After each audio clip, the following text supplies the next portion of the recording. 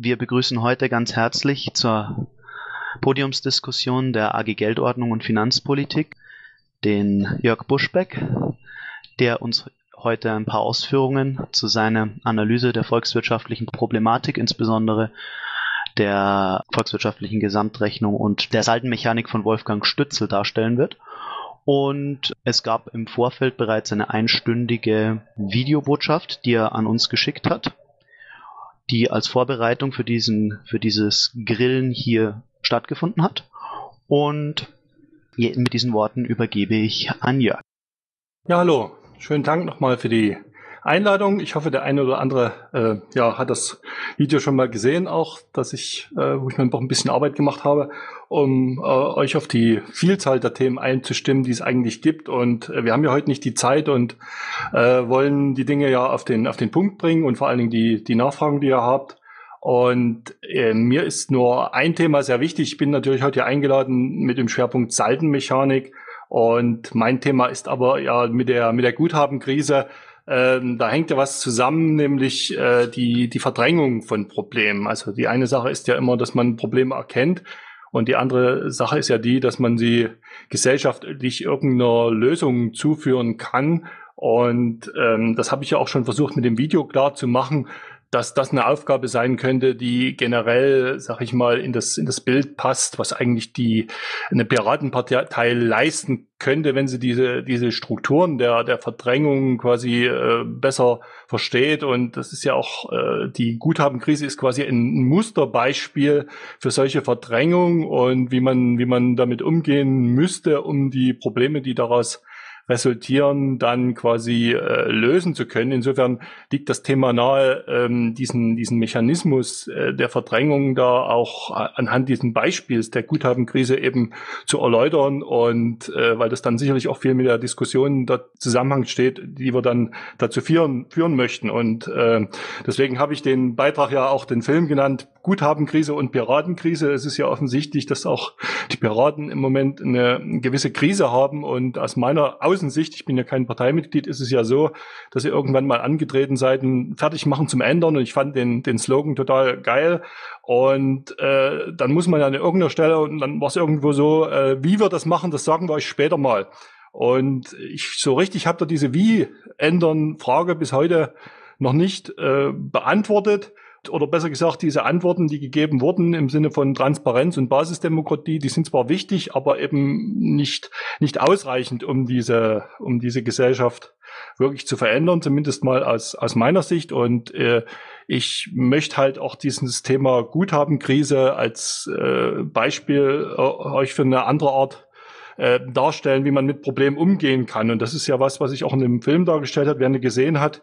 Ähm, ich habe ja äh, verschiedene Menschen, die mich inspiriert haben. Und im letzten Jahr war das dieser Rüdiger Dahlke, äh, was für einen verkopften Menschen wie mich, was total ungewöhnliches ist, weil der eben ja, würde man so als Esoteriker bezeichnen. Und äh, der hat aber so ein generelles äh, Lösungsmuster, nämlich, äh, dass jede Krise eigentlich nur ein Zeichen dafür ist, dass irgendetwas gesellschaftlich äh, verdrängt wird und dass es dann eigentlich immer die, die Nerds, die Querdenker sind, die dann auch so eine, so eine Verdrängung auch erkennen können und dass man also quasi, äh, indem man das Verdrängte eben nicht wegdrückt, sondern indem man es integriert, dann zur Problemlösung kommt. Und das halte ich für einen, einen ganz wichtigen Aspekt, ähm, wie man vielleicht auch mal zu so einer Art Elevator-Pitch äh, für die, für die Piratenpartei auch kommen könnte, wir sind die Problemlöserpartei, weil ich glaube, das ist genau das, was die Menschen wollen, dass wir, dass sie eine Partei haben, die in der Lage sind, die Probleme zu lösen. Und das kann man eigentlich eben in, in, auf drei Dinge bringen, nämlich, dass wir sagen kann, okay, wenn eine Krise ist, dann ist nicht die Frage, was ist gut oder was ist schlecht, sondern die Frage ist,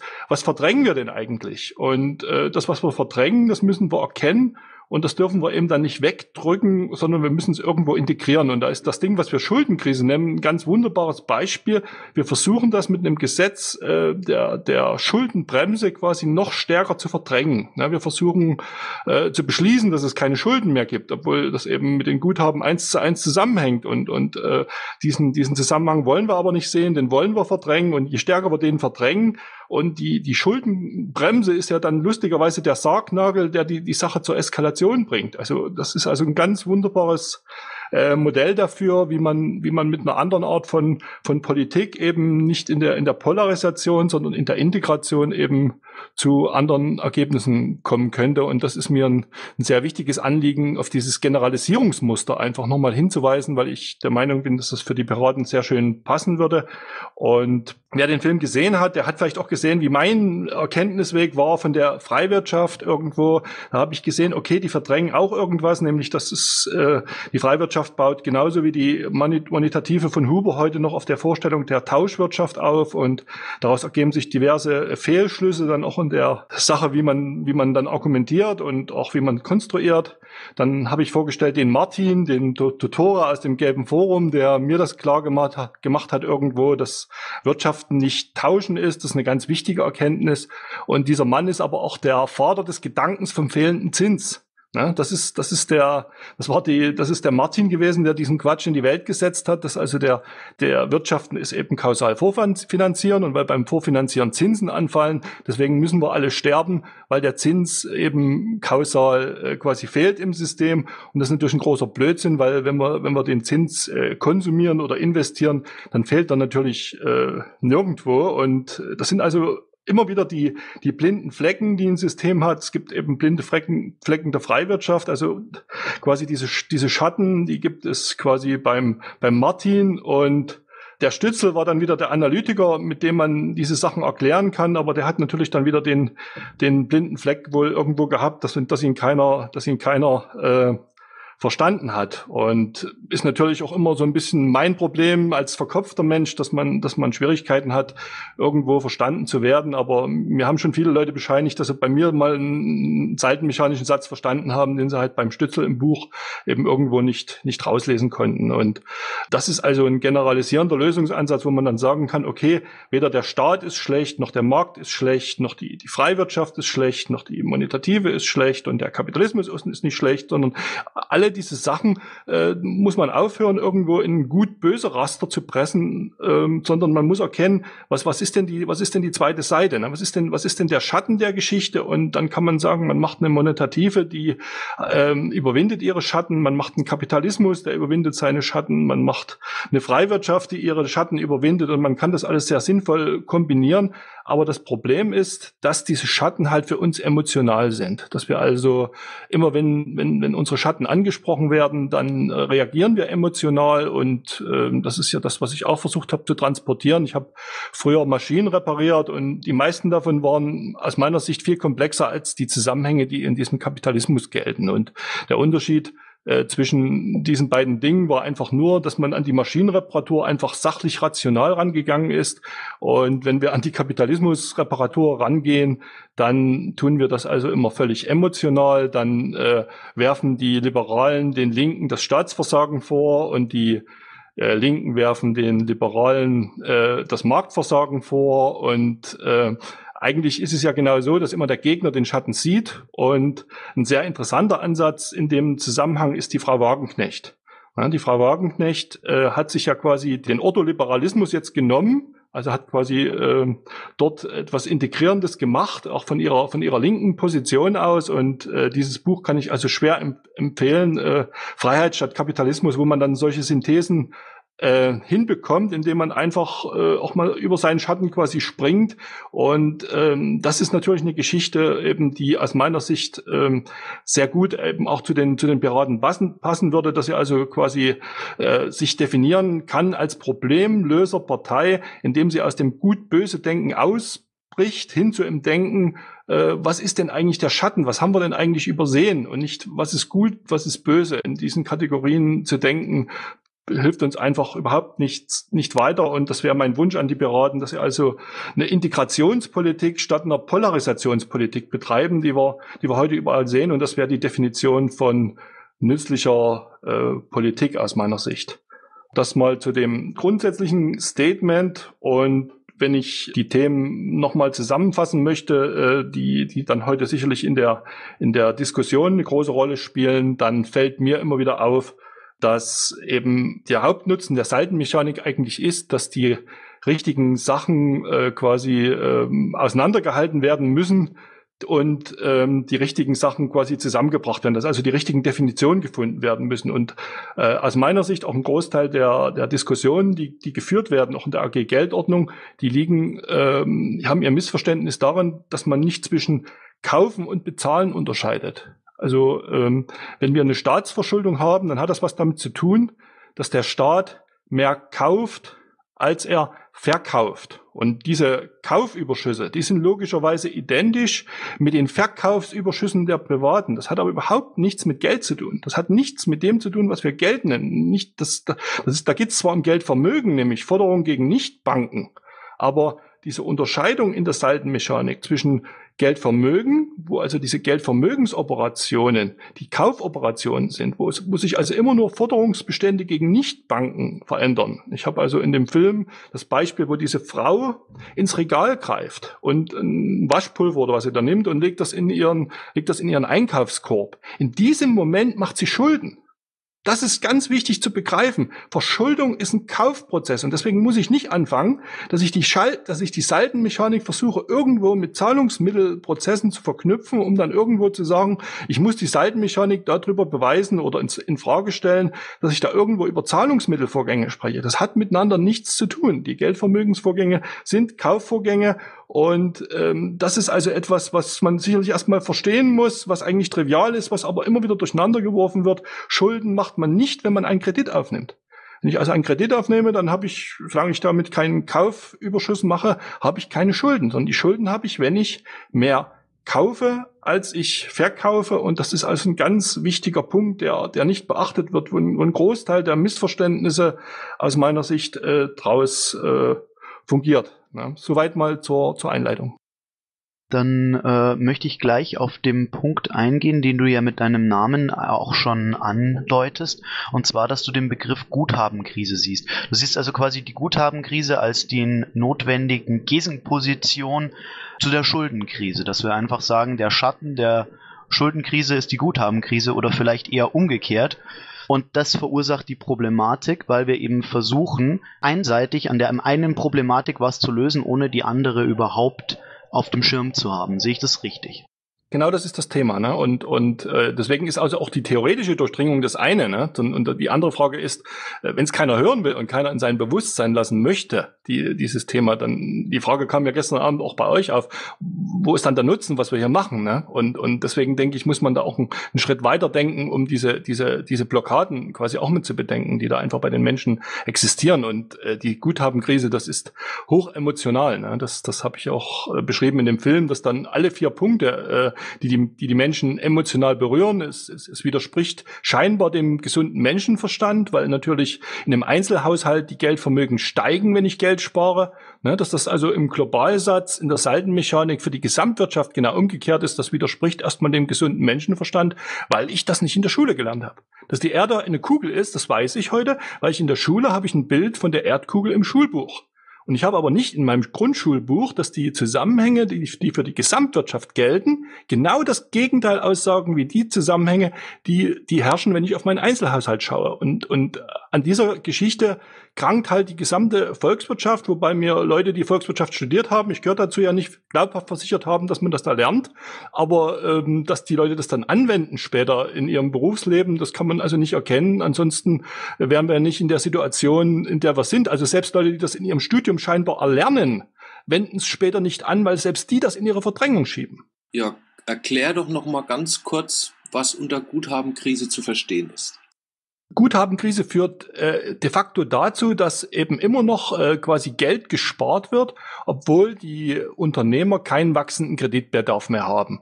Und wenn man dann nicht vorausschauend quasi Verschuldung organisiert, entweder als Staatsverschuldung oder als Verschuldung schlechter Kreditnehmer. Das ist ja das, was wir erlebt haben als Subprime-Krise. Und die Subprime-Krise wird uns ja quasi als Ursache dargestellt. Und die ist aber nur die Folge, dass wir quasi diese Verschuldung gebraucht haben. Wir sind heute in der Situation, dass wir für unsere Sparer keine solventen, freiwilligen Privatschuldner einfach mehr haben. Und wir wollen dieses Thema aber nicht diskutieren. Und da wir es nicht diskutieren wollen, bleibt für die, für die handelnden äh, Personen eigentlich die Frage übrig, machen wir Staatsschulden, die haben wir aber verrückterweise auch äh, dämonisiert, außer die Japaner, die da locker damit umgehen, darüber werden wir halt auch noch, auch noch sprechen. Äh, oder verschulden wir eben die privaten oder die ganz geniale, die deutsche Lösung. Wir verschulden das Ausland und zeigen dann mit dem Finger auf ihn. Das ist dann die, die, die kurioseste Lösung und äh, die auf den ersten Blick recht clever daherkommt, aber die dann äh, eben uns dafür im quasi im Kickback dann so richtig auf die auf die äh, ja Fresse äh, werden wir dafür bekommen. Heißt das jetzt im Schluss quasi, dass wir unser Problem exportiert haben, indem die Verschuldung nicht mehr bei uns ist, sondern auf das Konto äh, Ausland gelaufen ist in der volkswirtschaftlichen Gesamtrechnung, dass die quasi das kompensiert, was bei uns durch Staatsschulden jetzt an Privatvermögen nicht abgedeckt wird? Ja, und das kann man ganz einfach nachhalten. Schaut euch die Bundesbank, äh, das, das ist ja der Witz, dass die Bundesbank äh, Buchhaltung, die ist ja eins zu eins in Saltenmechanik, findet die ja statt. Na, und wenn dieser junge Mann, der da an der Spitze der Bundesbank steht und nur einzelwirtschaftlichen Blödsinn erzählt, mal eine Etage Liefergänge in seine Buchhaltung, dann könnte er diese ganze Sache nachhalten. Also man kann quasi die Saltenmechanik in der Buchhaltung der Bundesbank kann man die nachhalten, dass also die deutschen Staatsschulden ähm, identisch sind mit der äh, Geldvermögensbildung der Privatsektoren minus die Exportüberschüsse.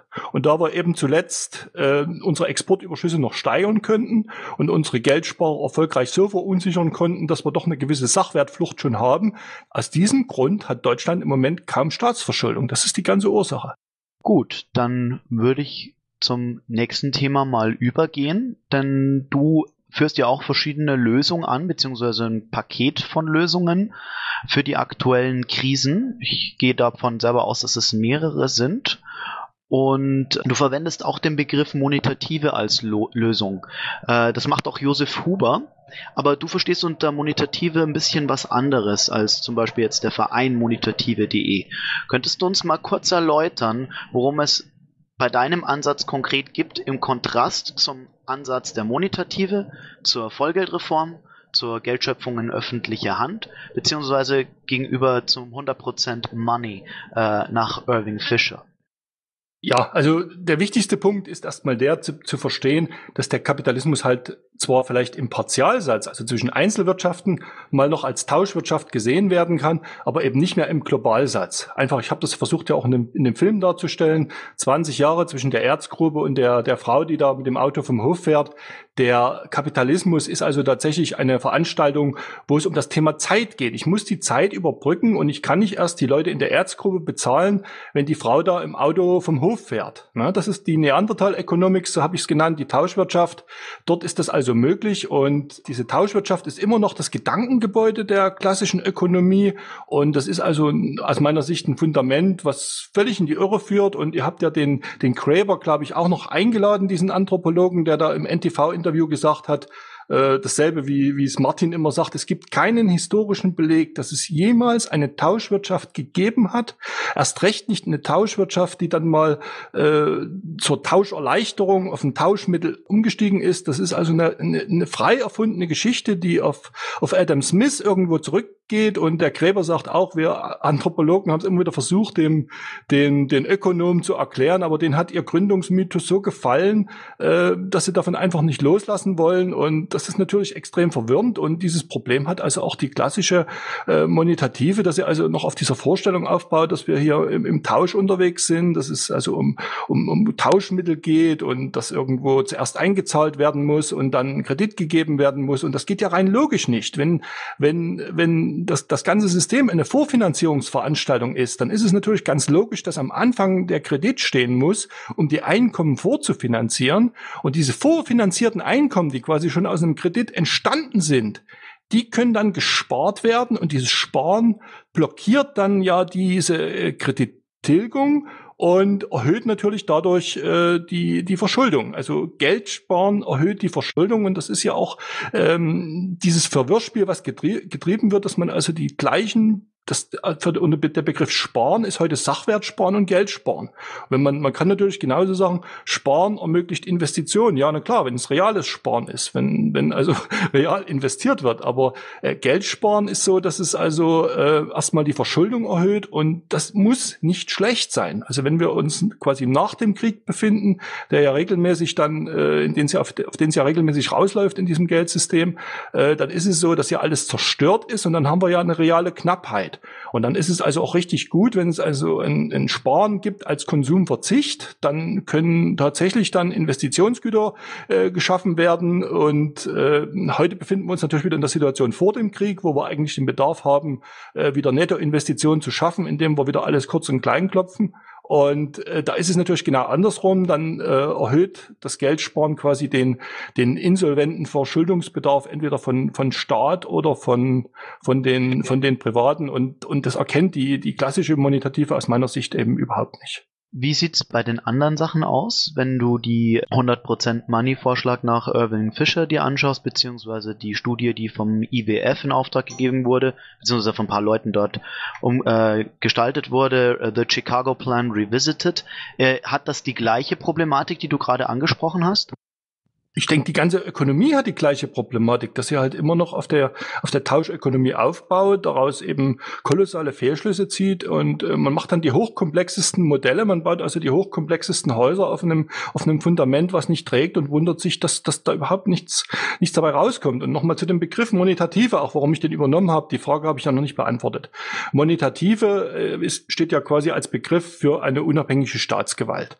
Und insofern ist es logisch, den Begriff auch zu übernehmen, weil der Begriff ist gut und äh, der beschreibt einfach auch das, was wir brauchen. Wir brauchen eine, eine unabhängige Staatsgewalt, die also quasi unser ökonomisches, äh, quasi unsere Stabilitätsgesetze äh, garantiert und die muss also keineswegs in den einzelwirtschaftlichen Wettbewerb eingreifen. Das ist also ganz wichtig, weil dann jeder gleich schreit, das ist Sozialismus und, und äh, äh, das dürfen wir überhaupt nicht so sehen, sondern wenn wir sagen, wir haben eine staatliche Institution, die quasi eine Notenbank mit Steuergewalt wäre das aus meiner Sicht, die also auch wirklich was steuern kann und ähm, diese, diese Institution regelt quasi das gesamtwirtschaftliche Gleichgewicht, die greift also in keinster Weise in den, in den einzelwirtschaftlichen Wettbewerb ein. Das ist dann vielmehr der Weg, wie wir diese ganzen Subventionen und was alles heute alles so läuft, um irgendwo noch die Investitionen am Laufen zu halten. Das könnte man im Gegenzug abschalten. Also man könnte quasi fast einen ganz freien Kapitalismus machen, wenn man im, im, im globalen Wirtschaften diese monetative Behörde hätte,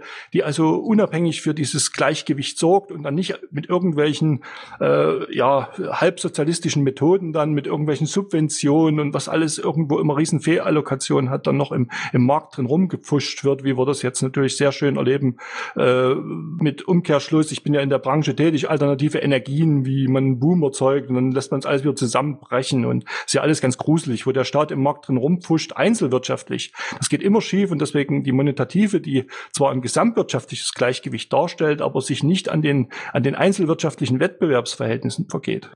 Ja, ich habe mal eine Frage zu dem Sparen. Deine Antwort war, das erhöht immer die Verschuldung. Aber es ist ja gar nicht gewährleistet, selbst wenn das Geld ausgegeben wird, dass das Geld dorthin geht, wo auch die Schulden sind.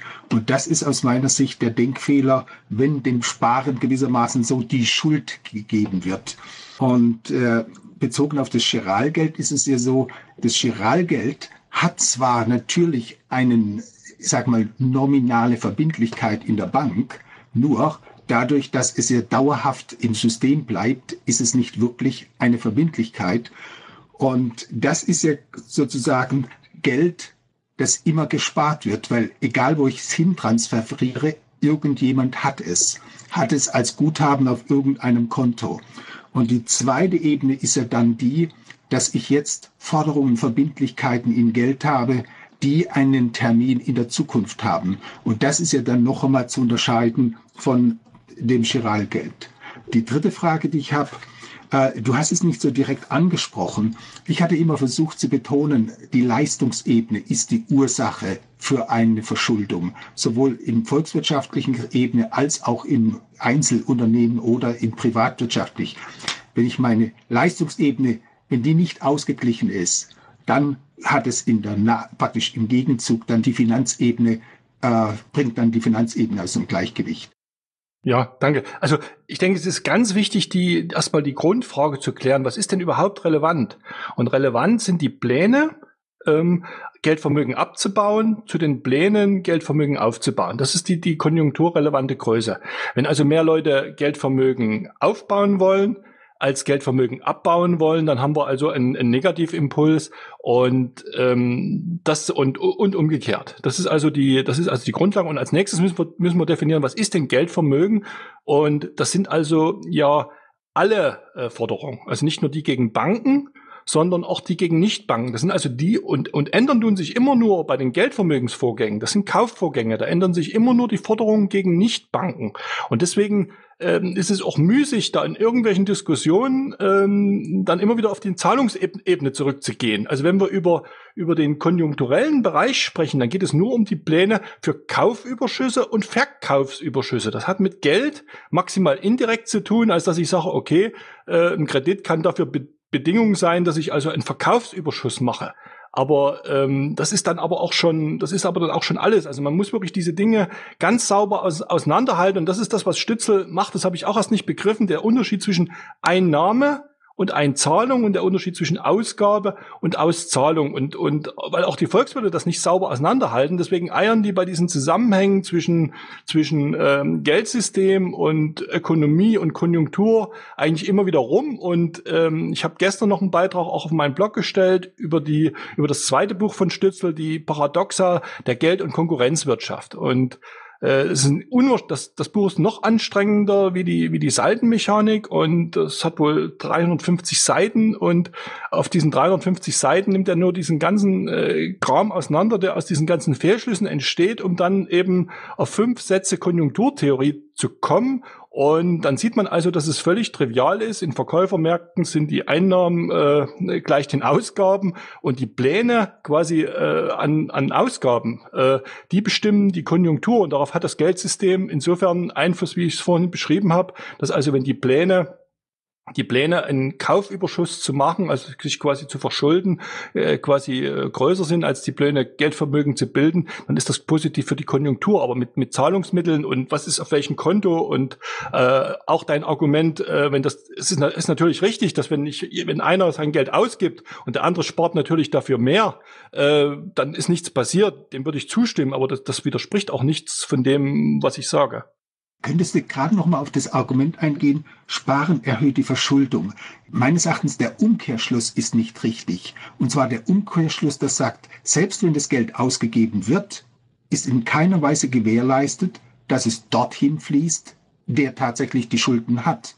Sondern es kann sogar, es kann praktisch sich kumulieren, dass nämlich äh, derjenige dann noch mehr Geld kriegt, der meinetwegen das bessere Angebot macht und der so gar keine Schulden hat, siehe Apple. Das widerspricht sich nicht nur. Wir sprechen wieder über zwei verschiedene Sachen. Du sprichst über, über zwei Wirtschafter oder drei oder eine Gruppe. Und ich spreche über quasi den Globalsatz, also die Summe aller Wirtschafter. Und wenn also, oder eben die zwei Gruppen, Private und Staaten, das ist ja das Interessanteste. Und ich habe ja in dem Film gesagt, es gibt einen ganz klaren Satz, die Geldvermögen der, der Privaten, die Geldvermögenserhöhung der Privaten ist identisch mit der Verschuldung der Staaten. Und das ist eine Identität. Man kann also daraus herleiten, in dem Maße, wie die Privaten ihre Geldvermögen in den nächsten Jahren erhöhen werden, genau um diesen Betrag wird die Verschuldung der Staaten steigen. Und dann kommt natürlich, ja, aber was ist denn jetzt ist, hängt nicht davon ab, ob er seine Rechnungen bezahlen kann, sondern nur, dass er Rechnungen da liegen hat. Also wenn die Privaten quasi mehr verkaufen, als sie, als sie kaufen, dann kauft der Staat mehr, als er verkauft. Das ist triviale Saldenmechanik und die muss ich nicht über den Umweg der Zahlungsmittelbetrachtung dann widerlegen wollen, weil das hat damit nichts zu tun. Wir sprechen nicht über Einzahlungsüberschüsse, sondern wir sprechen über Einnahmeüberschüsse. Und Einnahmeüberschuss bedeutet nicht, dass ich die Rechnung, die ich gelegt habe, an den Staat zum Beispiel schon bezahlt bekommen habe, sondern in meiner Bilanz steht dann zum Beispiel eine, eine Forderung gegen den Staat Griechenland als Unternehmer, die ich erst in einem halben Jahr oder vielleicht auch nie bezahlt bekomme.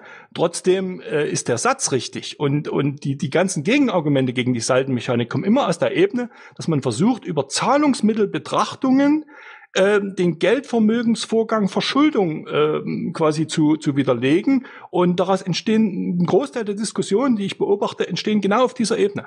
Dann würde ich an der Stelle weitergehen und nochmal einmal konkret an dem Punkt nachhaken.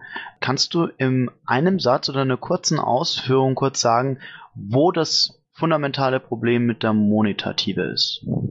Im Huber-Modell. Also wie gesagt, das, das grundlegende Problem aus meiner Sicht ist, dass es eben auf der Vorstellung einer, einer Tauschwirtschaft aufbaut.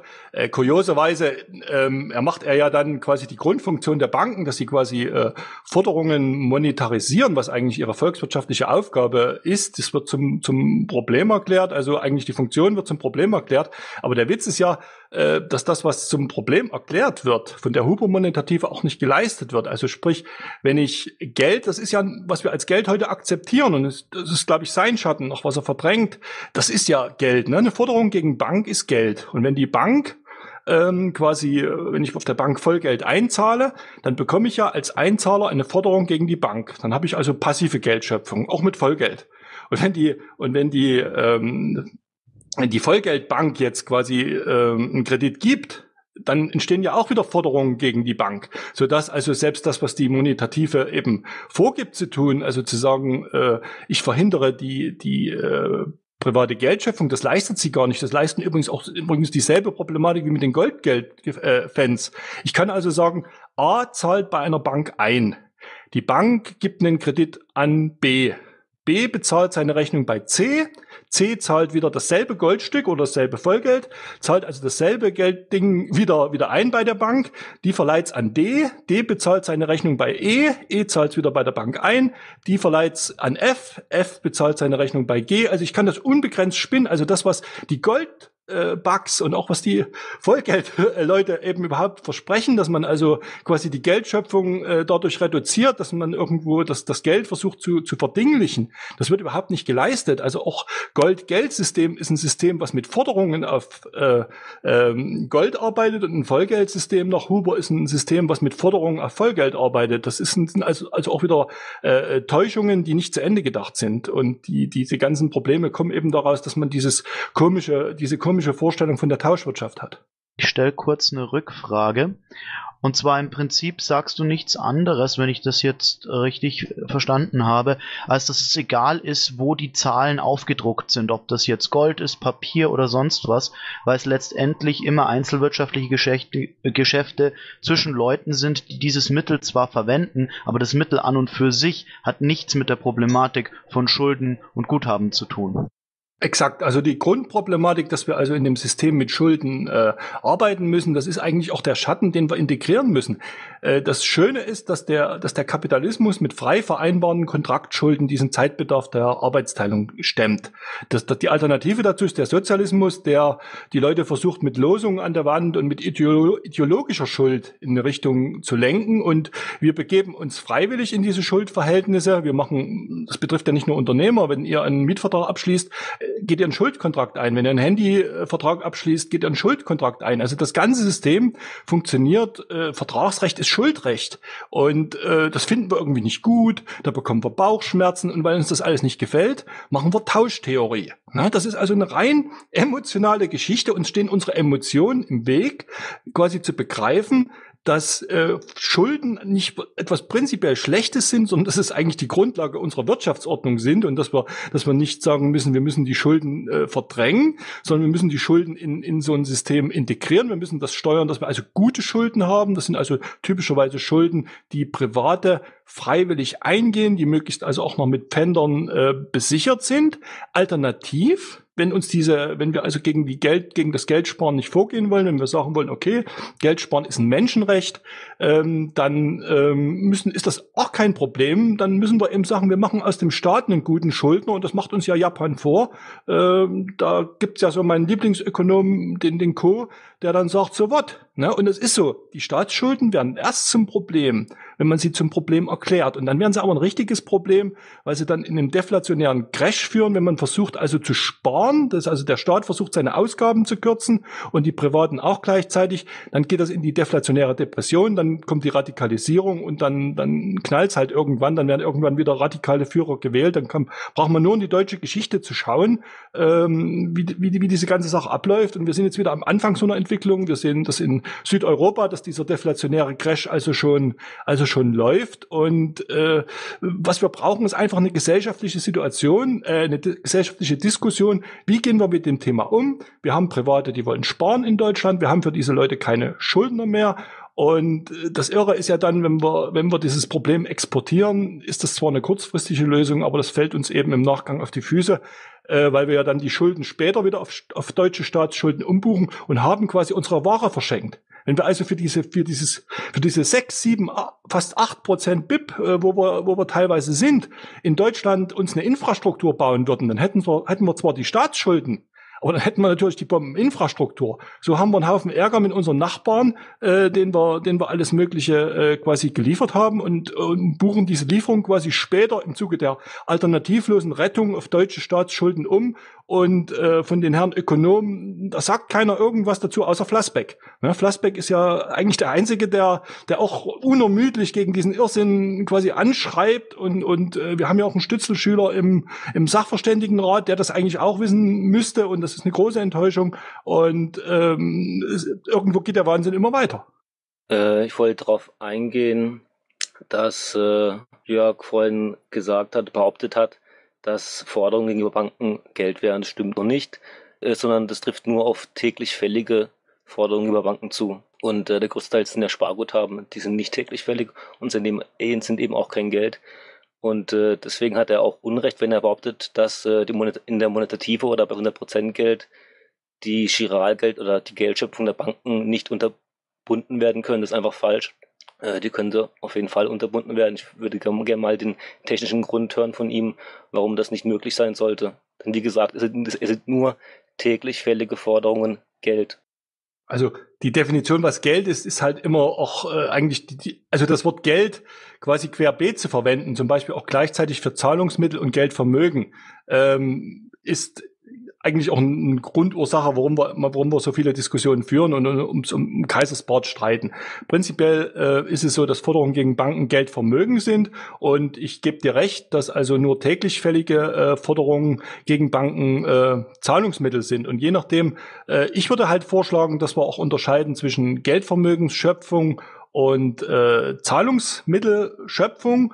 Und äh, Meiner Meinung nach ist es aber auch so, dass die, dass also auch die Zahlungsmittelschöpfung äh, nicht nicht äh, verhindert wird, weil äh, ja natürlich bei der Kreditvergabe ja genau eine täglich fällige Forderung gegen diese Bank entsteht. Das ist ja Sinn der Kreditvergabe. Alternative, alternativ müsste ja die monetative Bank so aussehen, dass man sagt, ich zahle das Vollgeldding ein und wenn die Bank das verleiht, ist es weg. Also sprich, ich habe gar kein Guthaben bei der Bank, sondern ich, ich zahle also ein Vollgeld bei dieser Bank ein. Also quasi die Bank macht das zum Beispiel auf Provisionsbasis, dass sie also mein Vollgeldding an einen Kreditnehmer äh, verleiht und es ist wirklich weg. Ich frage mich nur, äh, wer es akzeptieren würde, sein Geld auf die Bank zu schaffen und es ist weg. Ne? Also das, das ist ja völlig, äh, würden die Leute ja äh, laut schreiend äh, wahrscheinlich davonlaufen, ne? wenn sie das hören würden. Wenn ich mein Geld auf die Bank einzahle, ist es weg, weil die, die hat's verdient.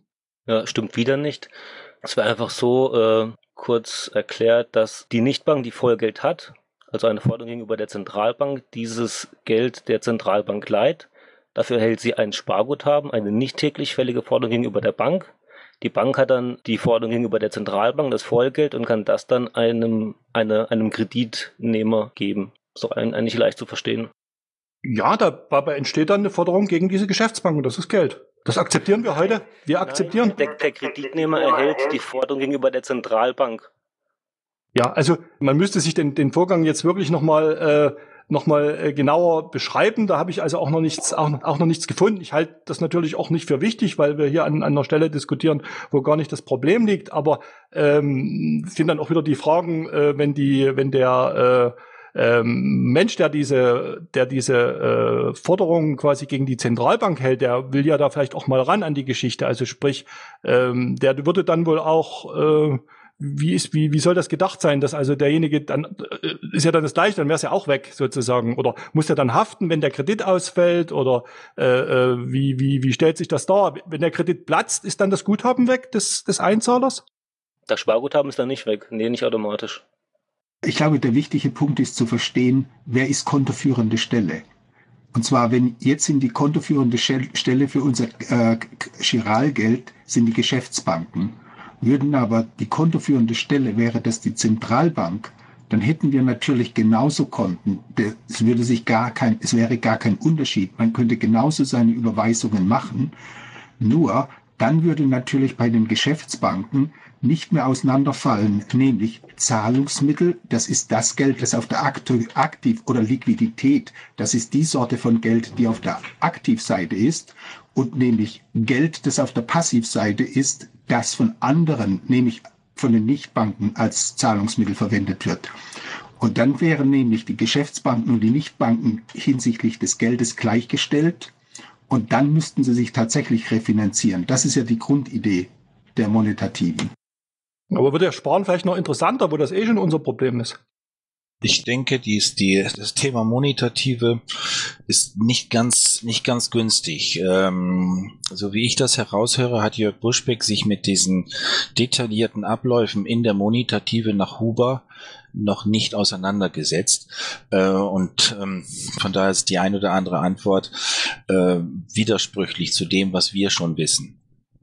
Ich möchte jetzt auch gar nicht weiter auf die Monetative eingehen, sondern, sondern äh, dann lieber, es ist eben schon Japan angesprochen worden. Und gerade zu Japan, das ist ja ein ganz besonderes äh, Land im Moment, äh, äh vermögenstechnisch, äh, wirtschaftlich, ähm, hat eine außergewöhnlich hohe Staatsverschuldung, vielleicht noch nicht die höchste in der Welt, aber so fast die höchste in der Welt mit so 240, jetzt dann so 250 Prozent des Bruttoinlandsprodukts. Wir in Deutschland erreichen, weiß ich gar nicht, 70 oder 80 Prozent, ein Drittel. Und regen uns jetzt furchtbar drüber auf. Die Ökonomen, die ökonomische Welt bescheinigt Japan oder prophezeit Japan seit rund zwei Jahrzehnten den Zusammenbruch. Und dieser Zusammenbruch tritt einfach nicht ein dazu hätte ich gern ein paar Kommentare, wie, wie Jörg, wie schätzt du denn Japan ein und warum und wieso und weshalb und was läuft da eigentlich ab und wieso treten die, treten die Ökonomen, die Prophezeiung der Ökonomen nicht ein? Die haben halt eine funktionierende Monetative, ne? Die haben halt eine, eine, äh, eine Notenbank, die den Staat dort äh, äh, finanziert. Also sie haben ein funktionierendes Quantitative Easing oder wie man das nennt. Also äh, da gibt's auch keine Diskussion wie in Amerika, dass man da ständig mit Klippen droht. Man hat ja nur, wo diese Depression eingetreten ist, äh, quasi zu zögerlich quasi äh, diese, diese, diese Konjunkturprogramme gemacht, um diese Riesenblase, die da geplatzt ist, natürlich aufzufangen. Und, und Japan ist eigentlich auch so ein, so ein schönes Beispiel. Dort äh, ist eine Wirtschaft gewesen, die ist geboomt, die hat investiert und dann irgendwann äh, sind denen äh, die natürlich auch die Anlagemöglichkeiten ausgegangen und dort hätte man eins machen müssen, äh, was ich vorschlage, was eine Monetative leisten sollte und wo ich auch mit der mit der Huber Monetative auch übereinstimme. Also es war ja auch eine Frage von Cosmic. Gibt es auch Punkte, äh, die, die die ich da einfach auch identisch sehe, auch wenn ich denke, sie baut auf einem auf einem falschen aus einem falschen Gedankenmodell auf. Dann ist es eindeutig die, dass man Blasen verhindern muss, dass man also äh, wenn quasi schon die Anlagegüter knapp wären, dann muss man verhindern, dass also diese Investitionen in Sachwerte mit Kredit gehebelt werden, weil so entstehen Blasen und da, da gehe ich auch konform mit der Huber-Monetative, dass man das, dass man das äh, äh, verhindern muss, dass das eine wichtige Aufgabe in einer, in einer Monetative ist, dass man also diese, dass man diese Blasenbildung quasi verhindert. Und so ist ja die japanische Krise entstanden. Und ansonsten hätte man dort ein Soft Landing hinbekommen, wo man quasi mit dieser Art von Notenbank, wie man sie in Japan äh, äh etabliert hat, einfach ganz gut damit umgehen, dass die die, die japanischen Hausfrauen, die sind genau wie die schwäbischen Hausfrauen, äh, dass sie also äh, sehr, sehr sparsam sind, wenn man also so Mentalitätsberichte da hört. Und die haben halt schlechte Erfahrungen gemacht mit Sachwertinvestitionen, die haben einen Haufen Geld verloren. Und Japan ist auch ein schönes Beispiel, äh, wie mit dem Wort Sparen eben und Sparquote auch, auch Verwirrung gestiftet wird. Man sagt, na, kann ja gar nicht sein. In Japan steigen die Staatsschulden, die Sparquote ist fast null.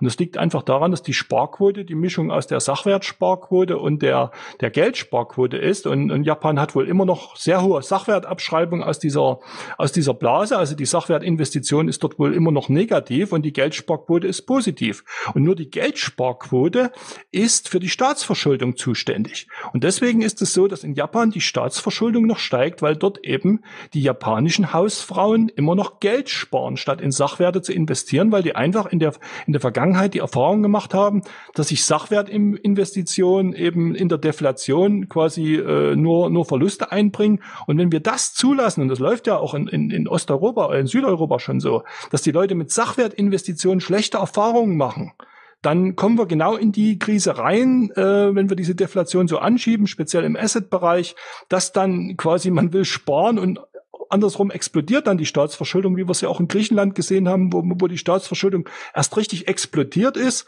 als man das Land quasi in die, in die Deflation geschoben hat, damit quasi die Sachwertinvestitionen äh, unlukrativ geworden sind und dann explodiert die Staatsverschuldung erst richtig. Also mit dem, mit dem Versuch, die Staatsverschuldung zu senken, quasi mit der, mit der Schuldenbremse, mit, mit, mit, dem, mit dem Versuch, das Licht in Säcken ins Rathaus zu tragen, äh, explodiert die Staatsverschuldung dann erst richtig.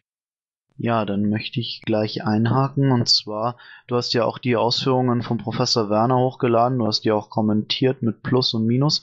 Und dessen Zentralthema ist ja in Bezug auf Japan, dass die, genau wie die Bank of China, ähm, aktiv Kreditlenkung betreibt, indem sie sagt, was jetzt äh, in was investiert werden darf, wofür Kredite geschöpft werden dürfen und damit eben gewährleisten, dass die Geldschöpfung produktiv sinnvoll angewendet wird.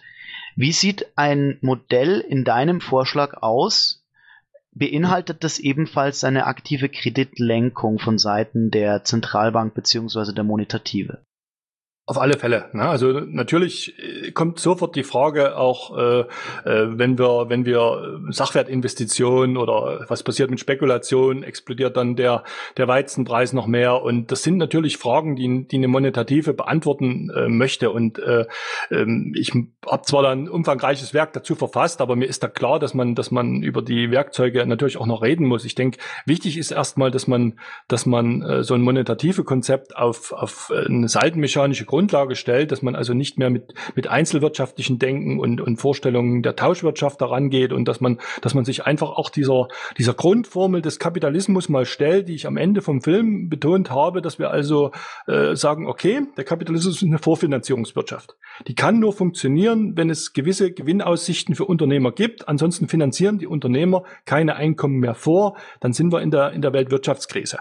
Man könnte man auch die freiwirtschaftliche Lösung machen. Man könnte auch sagen, okay, wenn, wenn es auf Geldhaltung minus fünf Prozent gibt, dann würden die Unternehmer natürlich auch zu Null vorfinanzieren. Also wichtig ist erstmal nur der Abstand. Also wir müssen sehen, ähm, dass wir also irgendwelche Gewinnaussichten brauchen, die das Risiko einer Sachwertinvestition einfach ausgleichen und dass die natürlich möglichst im, im produktiven Bereich liegen sollten und dass das eine monetative regeln soll, das ist gar keine Frage.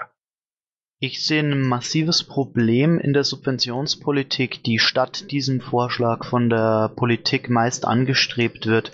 Welche Vorteile gegenüber dieser Variante mit der Problematik umzugehen gibt es in der Monetative? Ja, also das war ja gerade mal, wenn man, wenn man das Problem gesamtwirtschaftlich löst, also wenn man sagt, okay, äh, das ist ja mein Vorschlag, man schafft sehr stabile Bedingungen für reale Investitionen.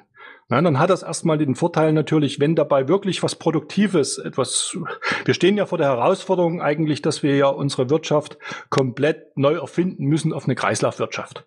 Und äh, das muss also auch bei sehr geringen Renditen funktionieren. Wir sehen jetzt gerade im Bereich erneuerbare Energien das Problem, dass man versucht hat, dass äh, private Investoren da einen Haufen Geld verdienen und jetzt merkt man, okay, es wird ein soziales Problem, die Energiewende. Und das kann ja also nur so aussehen, dass man sagt, diese realen Investitionen müssen mit möglichst geringen Renditevorstellen funktionieren. Und deswegen ist mein Vorschlag, dass man sagt, man konstruiert die Monetative so, dass sie den Knappheitspreis äh, für, äh, für Geld, äh, für risikolose Geldhaltung quasi abschafft, der eben heute nur darin besteht, aus meiner Sicht, dass also die Geschäftsbanken noch Bedenken haben, dass sie in ihrem Zahlungsmittel illiquide werden. Man sagt also, liebe Geschäftsbank, äh, wir erlauben dir nur noch äh, mit ordentlichen, produktiven Kredite zu vergeben. Also man reguliert schon die Kreditschöpfung. Meiner Meinung nach sollte man das auch auf die inländische Kreditvergabe äh, begrenzen. Es gibt ja bei den Volksbanken zum Beispiel so ein Regionalbankenprinzip, dass die also auch in der Regel nur in ihrer Region Kredite vergeben dürfen, sage ich mal, wo sie auch wissen, wie es um die Investitionsbedingungen steht. Soweit muss man nicht gehen, aber äh, nach meiner Meinung nach sollte man das national begrenzen, weil natürlich die, unser, unser Geldsystem ist ein Kreditsystem und das lebt davon, äh, dass diese Kredite vollstreckbar sind. Und wir können natürlich keine Kredite in Griechenland vollstrecken, wir können keine Kredite in Spanien vollstrecken. Und äh, wenn wir das mal nicht verdrängen, sondern wenn wir das mal akzeptieren, dass unser Geld Kredit ist und dass wir dann sagen, okay, wenn unser Geld schon mal Kredit ist und wir haben das jetzt akzeptiert, dann soll es guter Kredit sein und das muss eine monetative regeln, dass wirklich äh, gutes Geld ist guter Kredit. Da bin ich ziemlich bei dir. Allerdings äh, gibt es dort ein Gegenargument, das vermutlich von Jens käme, wenn er anwesend wäre. Und zwar, wir haben ja eine Problematik in dem Zusammenhang, äh, wie Geld verwendet wird. Und da sind die Sparkassen, jetzt nicht die Volksbanken, die du genannt hast, auch ein Problem im aktuellen System, weil sie oftmals äh, politische investi geleitete Investitionen tätigen, die sich im Nachhinein als große Verschwendung herausstellen. Wie kann verhindert werden, dass das dass diese Art von Verschwendung seitens des Staates äh, nicht stattfindet? Wie kann man da einen Kontrollmechanismus einbauen? Denke, als erstes müssen, müssen wir mal verhindern, dass es diese, äh, diese staatlichen, was wir heute als Geldverschwendung wahrnehmen, ne? ich sage mal Bahnhof, ne? Stuttgart. Ne? Die, die, die Schwaben sind ja bekannt dafür, dass sie gern ein bisschen sparen, also die investieren selber zu wenig. Also können wir uns entscheiden, ob wir sagen, wir verschenken per Export unser Sozialprodukt für wirtschaftliches Gleichgewicht oder wir bauen unsinnige Bahnhöfe. Und äh, an, an, das, an das Wurzel des Problems zu gehen, heißt eigentlich, die Schwaben dazu zu bringen, dass sie eben äh, in was Gescheites selber als Private investieren, was erstmal die Fehlallokation vermeidet, dass der Staat das tut. Und ansonsten muss man ja noch sagen, okay, prima, dass die, dass die äh, äh so einen Bahnhof bauen, ist besser, als würden sie einen Panzerkreuzer bauen und einen Krieg anfangen. Also ähm, das, das sehe ich noch so ein bisschen differenzierter, dass man dann erstmal an die Ursache gehen muss, dass es solche staatlichen Verschwendungs, äh, dass man solche staatlichen Verschwendungsinvestitionen äh, in der jetzigen Situation schon fast gut finden muss. Und das, glaube ich, ist auch der tiefe Grund, dass sie, dass sie stattfinden. Da gibt es natürlich noch andere Gründe, dass Leute gewählt werden wollen oder sich in irgendeinem Licht darstellen wollen. Aber das ist sicher erstmal einer der Gründe, wäre sicherzustellen, dass es solche, solche Investitionen nicht braucht, weil die Privaten eben selber investieren. Dann komme ich mal zum nächsten Punkt weiter. Und zwar äh, die Vermögensverteilung innerhalb einer Volkswirtschaft und damit die Einkommensverteilung als Thema. Kann die Vermögensverteilung nur durch eine Veränderung des Geldsystems durchbrochen werden? Und wenn nicht, was ist dann die Hauptsache für die Verwerfungen, die wir sehen? Ja, also der, der Kreuz läuft da durchs Land und erzählt, wir haben 40 Prozent Zinsen vom äh, Bruttosozialprodukt. Ne? Und wenn wir uns das im Detail anschauen, dann machen die Freiwirte natürlich eins, die werfen den Mehrwert quasi, das, was wir Unternehmer quasi, äh, wie wir teurer verkaufen, als wir einkaufen und abzüglich Kosten, das, was Marx Mehrwert genannt hat, ähm, werfen die mit Zinsen in einen Topf und sagen, das sind eh alles Kapitalerträge. Und das ist natürlich Quatsch. Ein Großteil der, der Kapitalerträge, die wir im deutschen, in der deutschen volkswirtschaftlichen Gesamtrechnung sehen, äh, gerade noch mit den Zinssenkungen der letzten Jahre, sind natürlich realwirtschaftliche äh, Renditen. Und ähm, Dort kann man aber wieder auch zu, zu Gesell kommen, der gesagt hat, die Rendite muss in, in einem Meer von Kapital äh, ersaufen. Und äh, äh, wenn wir also dahin kommen, dass wir sagen, wir haben stabile Investitionsbedingungen, und wir haben einen Geldzins von null und es lohnt sich aber auch, weil diese stabilen Investitionsbedingungen bestehen für reale Investitionen, für, für eine reale Rendite von 2,8 Prozent in reale Dinge zu investieren.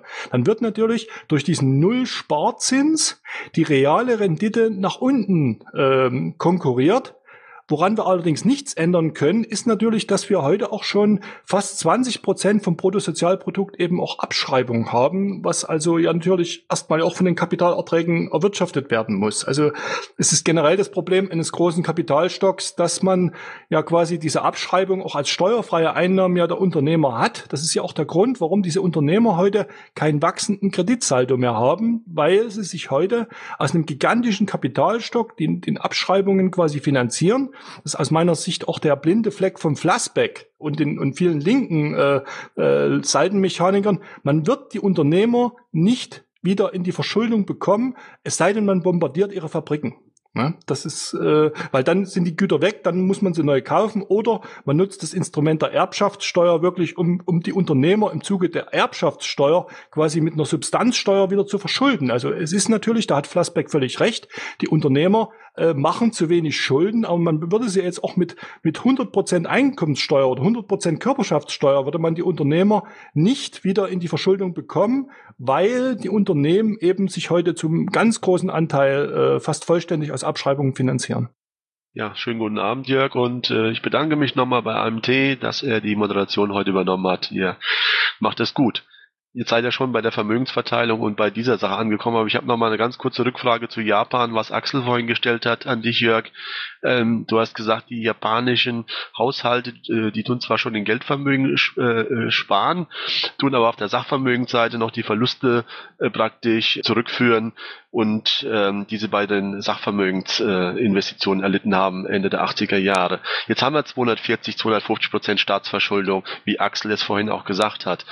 Wie lange kann das Spiel getrieben werden? Frage 1 vor dem Hintergrund, dass jetzt Japan zum ersten Mal seine eigenen Staatsanleihen nicht mehr allein im Inland platzieren kann, Punkt 1. Und Punkt 2, dass Japan zum ersten Mal Leistungsbilanzdefizite hat. Ähm, und Punkt 3, die Überalterung der japanischen Gesellschaft.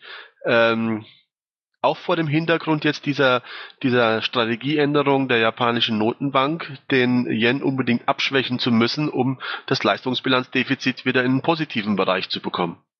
Wolfgang Stützel ist ja aus dem Sachverständigenrat ausgeschieden in der, in der Frage, wie man äh, mit Außenhandelssalden umgehen sollte. Äh, er ist ja der Meinung immer gewesen, dass Kreditkonditionen die, die, äh, die Regelung übernehmen sollten. Und es gibt ja viele Leute, und ich habe da auch mal dazu gehört, die gesagt haben, das müssen Wechselkurse regeln.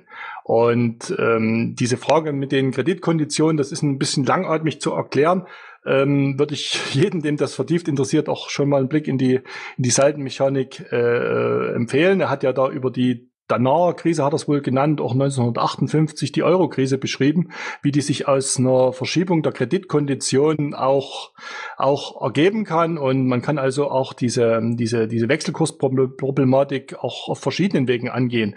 Meiner Meinung nach äh, wäre es ein gutes Instrument, wenn die Länder, die Exportüberschüsse haben, diese selbst besteuern würden. Also es hat in Deutschland auch schon mal eine Exportsteuer gegeben. Man hat also Deutschland hat schon mal seine eigenen Exporte äh, besteuert zu Zeiten der großen Koalition. Es hat also auch schon mal in Deutschland das, das Regelelement, was ich vorschlage, dass es also eine Kreditsteuer gibt, dass man zwar einen Sparzins von null hat und dass man aber über eine Kreditsteuer quasi, äh, wenn es eine Übernachfragesituation gibt, dann einfach sagt, na gut, es gibt zwar 0% Sparzinsen, aber man hat halt nochmal 3, 4% Kreditsteuer, die die Staatsverschuldung wieder tilgt. Das sind also beides Instrumente, die man in Deutschland schon mal gemacht hat und ich denke einfach, dass, dass, dass man die Monetative so definieren kann, dass es A, diesen Staatsanleihen Unfug nicht mehr geben muss. Also man kann eben mit, der, mit dem Buchungssatz Forderung an Steuerzahler, an Sichtguthaben, also speziell wenn die Monetative eine Steuergewalt hat, dann kann die ganz seriös so buchen. Dann bucht die aktiv Forderung an Steuerzahler und passiv ist das Geld da, das ist das Sichtguthaben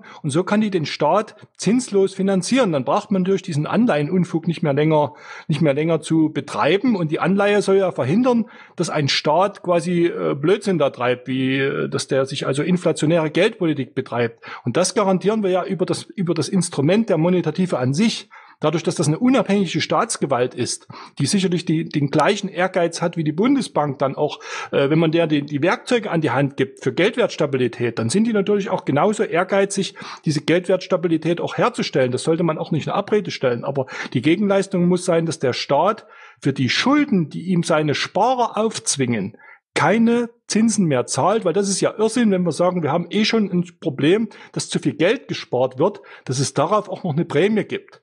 Dass es darauf einen Malus gibt, äh, wie es die Freiwirtschaft vorschlägt, halte ich für politisch nicht durchsetzbar. Das macht die Leute wahnsinnig wütend. Aber an Nullzins haben sie sich ja jetzt schon so halbwegs gewöhnt, so dass ich das also auch für, für politikabel halte, dass man das durchsetzen kann, dass man sagt, okay, für risikoloses Sparen, äh, wenn das Geld stabil ist, da gibt's halt keine Zinsen mehr und wer etwas verdienen möchte, der soll bitte auch ein Risiko tragen, der soll also in reale Dinge investieren und möglichst eben in, in nachhaltige Investitionen, die wir ja auch brauchen, wenn wir in eine Kreislaufwirtschaft eintreten müssen in den nächsten Jahrzehnten. Es kann ja gar nicht anders gehen mit dem Bevölkerungswachstum, als dass wir unsere Wirtschaft quasi äh, zu großen Teilen neu erfinden, Cradle to Cradle sind da, sind da Stichworte und da steht ja auch ein Investitionsbedarf dahinter und dieser Investitionsbedarf muss mit geringsten Renditeaussichten äh, realisiert werden. Da gibt's ja von mir auch den Vorschlag, diese, äh, dieser ungehebelten Sachwertfonds, dieses sogenannte Wertgeld, wo man den Leuten quasi wieder ein Geld an die Hand gibt oder etwas, was sie so empfinden, weil es eben auch so liquide ist. Und es ist aber eigentlich ein Sachwert, äh, den man, den man verbrieft hat, aber eben nicht wie die Fonds heute sind mit drei, vierfachen Kredithebel, sodass das Ding dann in guten Zeiten hochschießt mit einer tollen Rendite und in, in schlechten Zeiten stürzt es dann ab und dann investiert wieder keiner mehr in Sachwerte, wie wir das in Japan als krisenursächlich auch erlebt haben, sondern dass wir sagen, wir verbriefen Sachwerte äh, nach einem bestimmten Standard und da können wir also auch die Österreicher und Goldgeldbugs und die können wir da alle mitnehmen, kann man sagen, hier haben wir, hier habt ihr euer Wertgeld, da stehen recht, richtig äh, Werte dahinter und in diesen Werten könnt ihr jetzt sparen. Für die Wertschöpfung brauchen wir Schuldgeld, weil wir die Zeit überbrücken müssen und dann dürfen wir aber dieses Schuldgeld nicht äh, sehr lange blockieren, in, äh, weil die Kredite müssen ja auch wieder zurückgezahlt werden, wenn es private Kredite sind. Und mit dieser Idee, dass man quasi Sachwerte auch liquide macht und quasi sagt, okay, das fühlt sich jetzt an wie Geld, denke ich, kann man auch die emotionalen Probleme ein Stück weit lösen, die sich aus der Guthabenkrise ergeben. Ja, ich komme jetzt auch direkt zu dem Vorgängerthema, nämlich zu der Vermögensverteilung. Auf der linken Seite ähm, speziell auch auf den Nachdenkseiten wird ein Diskurs darüber geführt, Jörg, ähm, ist die Geldschwemme oder die Spekulation um kriminelle Energie die Hauptursache der Finanzkrise.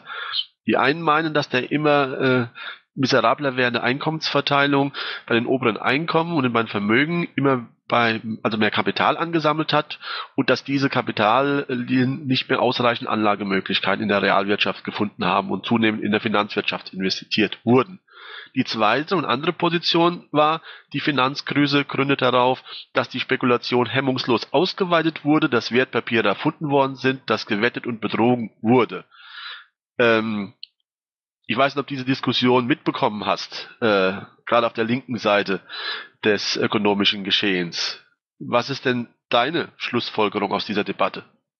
Also ich sehe es schon prinzipiell genauso wie Flassbeck. Die Ursache ist, dass, dass eben die Unternehmer kein Verschuldungs... Also wir haben das in der Schule gehabt, kein Quatsch. Das hat der Marx schon vorhergesagt. Also das hat der Marx 1850 ins, ins Kapital geschrieben. Muss er. Ich habe das nicht gelesen, aber wir haben es in der Schule gelernt. Also äh, das in der End, das quasi kurz vorm Krieg ist es dann so, dass es nochmal eine, einen, einen sogenannten Imperialismus gibt, dass dann also quasi das, was wir da heute unter dem Stichwort Globalisierung äh, äh, kennen, dass man also versucht, diese, dieses Problem quasi zu, zu exportieren. Das hat Karl Marx irgendwo äh, vor 200 Jahren aufgeschrieben. Das ist also alles nichts Neues. Das sind immer wieder die Prozesse, die ablaufen. Man hat, man macht einen Krieg, danach hat man einen Netto-Investitionsbedarf, dann ist auch alles in Ordnung. Und äh, irgendwann ist es dann halt so, dass dann das Kapital ähm, die Anlagemöglichkeiten nicht mehr findet. Und das ist jetzt, heute sind wir in der Situation, äh, dass wir sagen können, Gott sei Dank äh, kann man fast keine Kriege mehr führen oder man führt sie halt dann irgendwo anders. Und, und das dürfen wir natürlich nicht zulassen. Deswegen brauchen wir die Monetative Exekutive,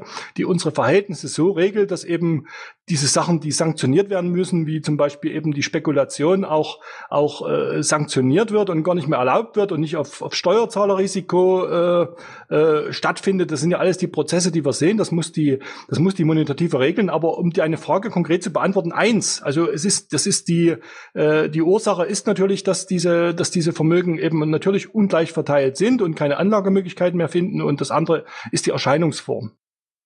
Ich habe eine Frage zu ungehebelten Sachwertfonds. Also ich mache mir da schon länger Gedanken drüber, auch genauso wie du das beschrieben hast, dass es eine prima Sache ist oder wäre. Aber ganz konkret, was kann die Politik dazu machen? Also sicherlich den Wertstandard zu definieren und eventuell wäre das auch ein Punkt für bürgerschaftliches Engagement, weil das Problem an diesen ungehebelten Sachwertfonds ist, dass die Banken ihre Vertriebskosten nicht so gut verstecken können. Der Kredithebel führt heute dazu, dass die Banken sind ja teilweise auch gerade bei diesen, bei diesen Sachwertfonds heute auch teilweise ganz schön krasse Vertriebsmodelle unterwegs, die also auch sehr viel Geld kosten und ähm, vielleicht bräuchte man auch so regionale Investitionsclubs, wo, wo ich glaube, was die Menschen in Deutschland äh, so ein bisschen verlernt haben. Wir haben immer mehr Angst, weil uns die ganzen Verhältnisse Angst machen, deswegen horten wir.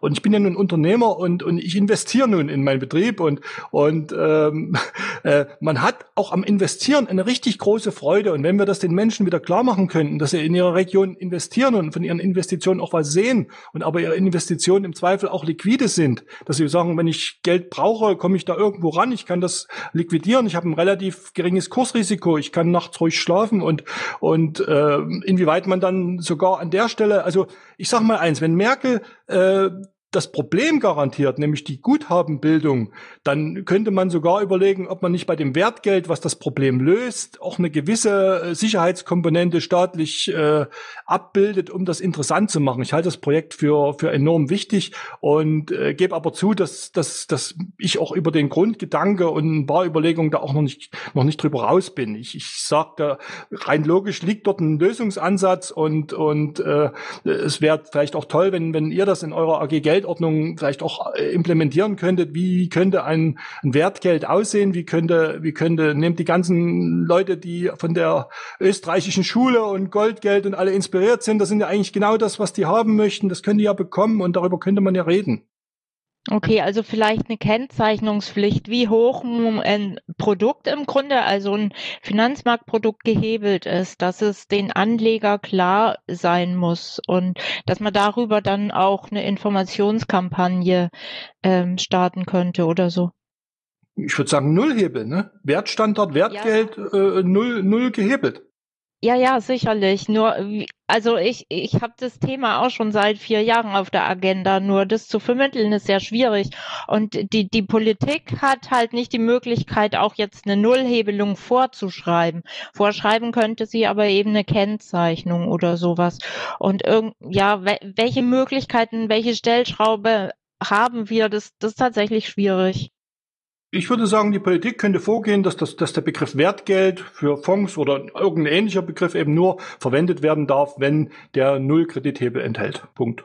Ich, ich möchte mal zu dem Thema Wertgeld auch nochmal was sagen. Ich habe ja lange auch diskutiert in verschiedenen Foren, unter anderem auch im Gelben und auch so als Art Freiwirt und Freund von negativen Zinsen. Und da kriegt man ja förmlich, da schlägt einem ja der Hass entgegen. Und äh, der Craig Mankiw, der in der in der New York Times geschrieben hat, Time to go negative, also er hat ja auch geschrieben, hat noch nie so viel Hass-E-Mails bekommen.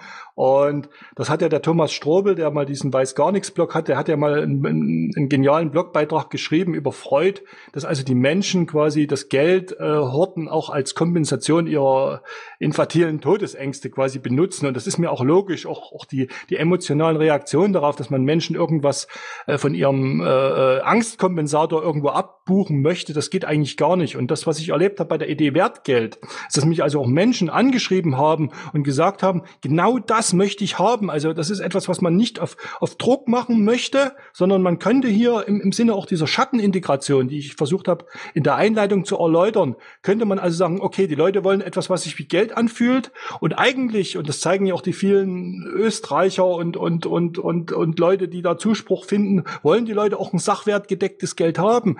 Also lasst uns doch überlegen, wie wir ihnen nicht, wie wir sie nicht irgendwie unter Druck setzen, sondern lasst uns doch überlegen, wie wir den Leuten auf Sog so ein Wertgeld äh, kreieren können als ungehebeltes Sachwertgeld und äh, das als Wertaufbewahrungsmittel auf Sog nahebringen. Das äh, hab, ist nicht fertig, der Gedanke, aber ich denke, der ist sehr vielversprechend. Ich möchte zum einen eine Anmerkung machen, und zwar, ich glaube, jedes System braucht Energie und braucht Masse. Und äh, Geld ist, man könnte sagen, Rechtsenergie. Es sind die Ansprüche, die zwischen den Wirtschaftssubjekten stehen und dadurch kommt praktisch gerade kapitalistische Wirtschaftssysteme äh, kommen so äh, in, ins Rollen beziehungsweise entfalten eine solche Kraft. Aber ich glaube, man muss auch immer darauf achten, dass praktisch nicht zu viel Energie in einem System ist, denn sonst äh, gewissermaßen kocht es über beziehungsweise zerlegt sich selbst. Das war die Anmerkung. Der eigentliche Punkt ist eigentlich, du hast jetzt schon mehrfach betont, dass Verschuldung ohne Staatsverschuldung nicht geht, beziehungsweise die Sparer erzwingen die Staatsverschuldung. Das ist, der Satz ist meines Erachtens falsch. Und der Beweis geht folgendermaßen. Familie A gibt Familie B einen Kredit.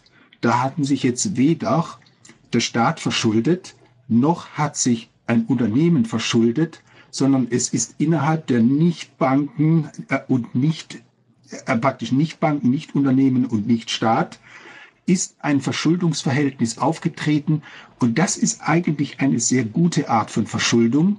Und zwar, es ist praktisch ein Tempo, an temporaler Verschiebung des Konsums. Das gewissermaßen eine junge Familie verschuldet sich bei gutverdienender Familie, damit die gutverdienende Familie später im Alter das wieder zurückhaben kann, baut sich jetzt ein Häuschen oder schafft sich irgendwas an.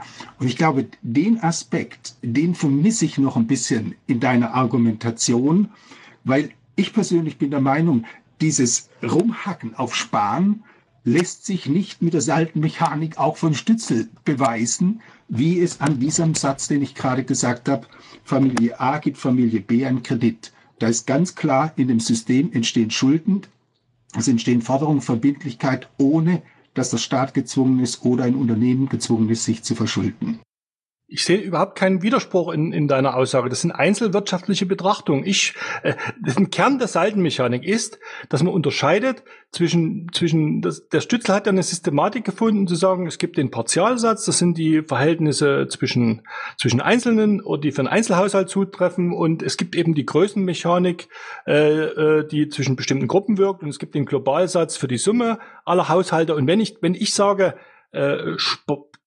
private Einnahmeüberschüsse äh, bedingen staatliche Ausgabeüberschüsse, also sprich äh, private Geldvermögensbildung bedingt Staatsverschuldung, dann ist es der Globalsatz. Und dass der Globalsatz das genaue Gegenteil von dem aussagt, was der, was der, was der, was der Partialsatz aussagt, das, das ist so. Und, und, und, äh, und, und jetzt hinzugehen und zu sagen, ich betrachte jetzt mal zwei, zwei Einzelhaushalte und nehmt das als Beweis, dass der Globalsatz nicht stimmt. Das ist einfach methodisch falsch. Und das ist, und das ist genau Kern der Seitenmechanik, dass man solche Dinge aufdeckt, dass man, und dass man natürlich klärt. Und da bin ich natürlich auch nicht immer sauber. Und vielleicht liegt das auch an mir, dass ich bestimmte Sachen vielleicht an irgendeiner Stelle dann nicht so perfekt definiert habe, wie der Stützel getan hat. Aber äh, das ist genau das, was ich meine. Also der, der Satz, den ich da auch im Film gesagt habe, also sprich die, die staatlichen Ausgabeüberschüsse, also das ist das, was global betrachtet, also die Summe aller Staatsschulden dieser Welt, ist genau identisch mit dem, was die Privaten in den nächsten Jahren äh, Geldvermögen sparen werden, also weil sie jetzt schon Geldvermögen haben. Und der Betrag, um den sich die globalen Staatsschulden in den nächsten Jahren erhöhen werden, ist genau der Betrag, in dem die Summe aller Privaten ihre Geldvermögen erhöhen wird. Und da kann man natürlich sagen, äh, sollte man auch sektorale Betrachtung an, anstellen. Da bin ich, bin ich ganz bei dir. Aber man sollte zuallererst mal den, den, den, den Globalsatz begriffen haben in seiner Dimension. Und dann kann man natürlich auch überlegen, welche Sektoren sollen denn Geldvermögen abbauen. Man kann ja auch zu der, zu der, zu der, zu der Meinung kommen, man macht ein, ein ich habe es ja schon genannt, einen 50.000 Euro Horterfreibetrag und, und nur die Geldvermögen, die oben drüber liegen, erklären wir zum Problem. Das kann, könnte, ist, ist auch ein Lösungsansatz. Ja, Gemach, Gemach. Es fehlt noch der Beweis. Und ich sage, der Globalsatz, den hier äh, Stützel sagt, war beispielsweise der Partialsatz war, ähm, praktisch das, das Unternehmen, wenn ein Unternehmen den Preis senkt, dass dann der Absatz erhöht. Wenn das alle Unternehmen machen, erhöht sie, senkt sich insgesamt der Preis, aber der Absatz erhöht sich von individuellen Unternehmen nicht. Das ist jetzt praktisch nachvollziehbar, das ist der Beweis. Nur, bei dir fehlt noch der Beweis, dass du sagst, dass mein, dass sowohl der, äh, der Partialsatz, nämlich Familie A gibt Familie B einen Kredit, dass der stimmt.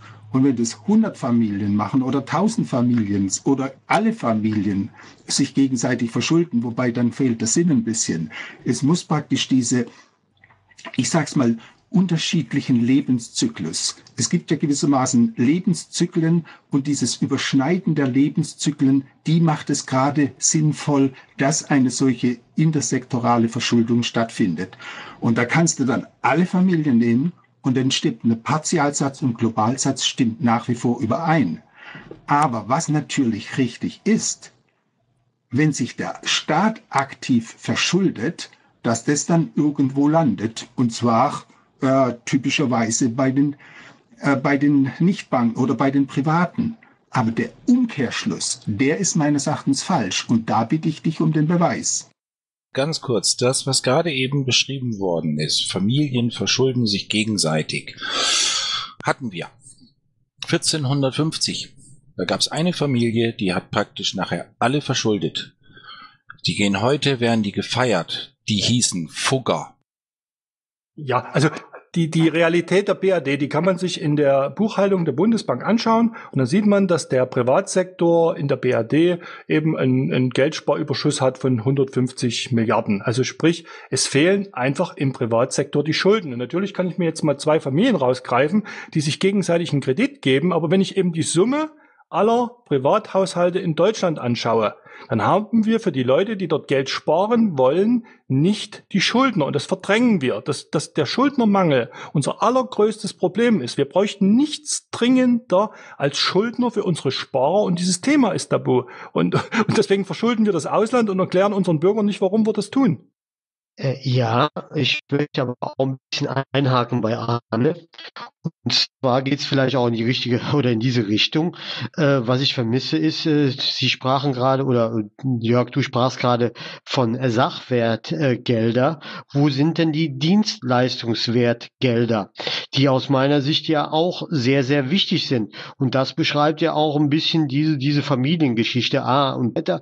Ähm, äh, aus meiner und dann eben vielleicht auch ein Wort aus deiner Seite mit Überproduktion, dass das eben auch vermieden wird. Ich meine, wir können äh, den äh, Menschen äh, Schulden, Schulden und so weiter geben und dann nur Autos, Autos kaufen. Dann haben wir hier fast auf unserer Welt nur alles Autos. So kann es ja auch nicht sein. Also da muss es ja klare Regulierungen geben.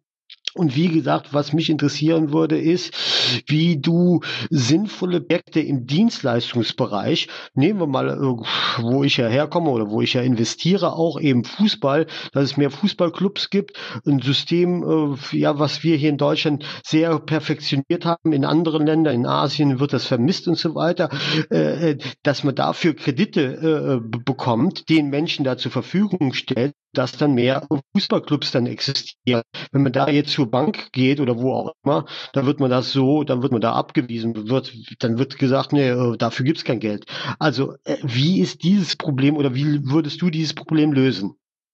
Vielleicht prinzipiell äh, sage ich ja, bin ich ja nicht der, der sagt, macht eine Geldreform und alles wird gut, sondern äh, ich sage ja, wir haben so viele Probleme, äh, wir haben die die Akkumulationsprozesse, wir haben äh, die den Naturverbrauch und diese Dinge sollten wir alle steuern und sollten daraus unseren Grundeinkommen zahlen. Und wenn wir das Grundeinkommen haben und und wieder freie Arbeitsmärkte und äh, es ist nicht mehr so viel Nachfrage da, dann wird, wird natürlich das das Angebot auch reduziert und das ist natürlich äh, völlig gesund. Also ich bin der Letzte, der sagt, äh, lasst uns mal ein bisschen am Geld Geldsystem rumfummeln, ähm, damit äh, dann brauchen wir das andere nicht, wie es viele Freiwürde machen, sondern umgekehrt wird ein Schuh draus. Wir müssen am Geldsystem rumfummeln, damit und damit wir nicht mehr hören, dass wir die anderen Sachen wegen Alternativlosigkeit nicht machen können, weil natürlich uns heute das Geldsystem und äh, diese Formel, die ich genannt habe, diese wichtigste Formel des Kapitalismus, ne, ohne äh, äh, wenn diese gesamtwirtschaftlichen Relationen nicht mehr stimmen, dann fliegt uns der ganze Laden in kurzer Zeit um die Ohren. Das ist wie eine Erpressung mit einer mit einer Atombombe, mit einer Kettenreaktion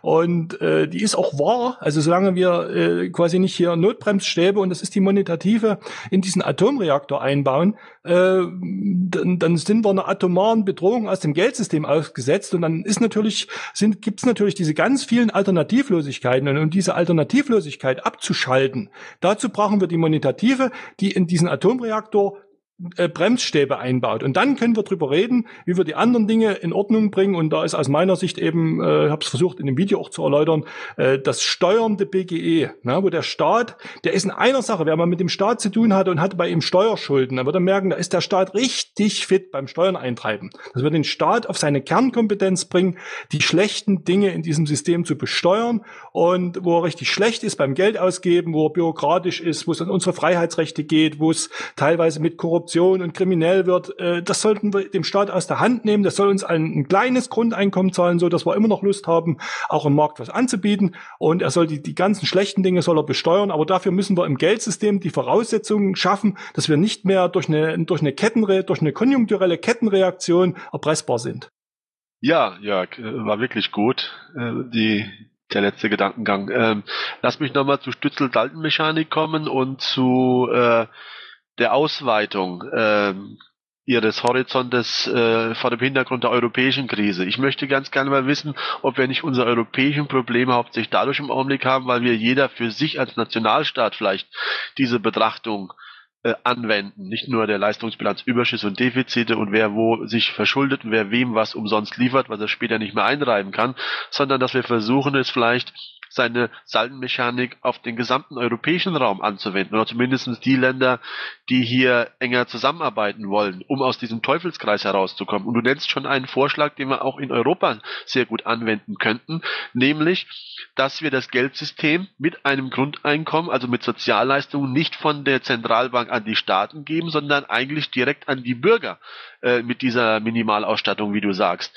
Äh, A würde es ein Gemeinschaftsgefühl bedeuten, es wäre eine Vereinheitlichung der heute noch differenten Sozial- und Steuersysteme möglich. Also die könnten harmonisiert werden der ganze Gedankengang zielt darauf hin, halt hier eine europäische äh, Ebene, Gesamtbetrachtung und vielleicht auch Identität äh, zu ermöglichen. Wie stehst du zu solchen Überlegungen?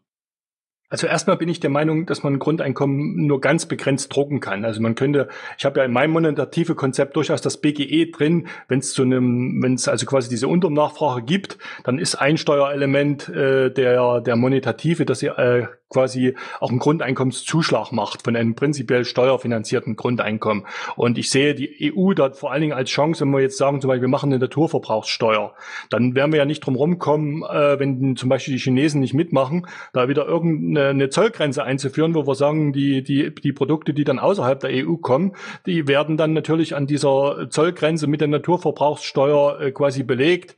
Äh, das ist mal der Punkt, wo ich sage, äh, wenn wir steuern wollen, äh, ist das Konstrukt EU wahrscheinlich wahrscheinlich auch als in, in diesem Sinne als, als Binnenmarkt dann zu verstehen. Und worauf ich besonders hinweisen möchte, die Idee zu sagen, dass die Monetative über die Kreditsteuer steuert. Also dass wir sagen, man hat prinzipiell einen, einen risikolosen Sparzins von null. Aber ich habe zum Beispiel in Griechenland, weil die schon wieder viel, viel Freude haben, vielleicht in zehn Jahren, wenn die Krise vergessen ist, da wie die wilden Häuser zu bauen. Ich weiß nicht, ob die da sich so schnell davon erholen, aber dann sind vielleicht in Griechenland ist die Kreditsteuer eben sieben Prozent und in Deutschland, wo die Leute absolut keine Lust haben, sich zu verschulden, ist sie vielleicht nur ein Prozent. Also man könnte mit der Idee der Kreditsteuer das Grundproblem des Euro lösen, dass man eine nationale und man könnte sogar eine regionale Geldpolitik machen, indem man verschieden hohe Kreditsteuersätze in verschiedenen Regionen anwendet. Und das könnte man in einer Gemeinschaftswährung machen. Und das greift wieder an den Stützelschen Gedanken an, mit Kreditkonditionen Wirtschaft zu steuern, weil sie nun mal ganz wesentlich vom Kredit abhängig ist.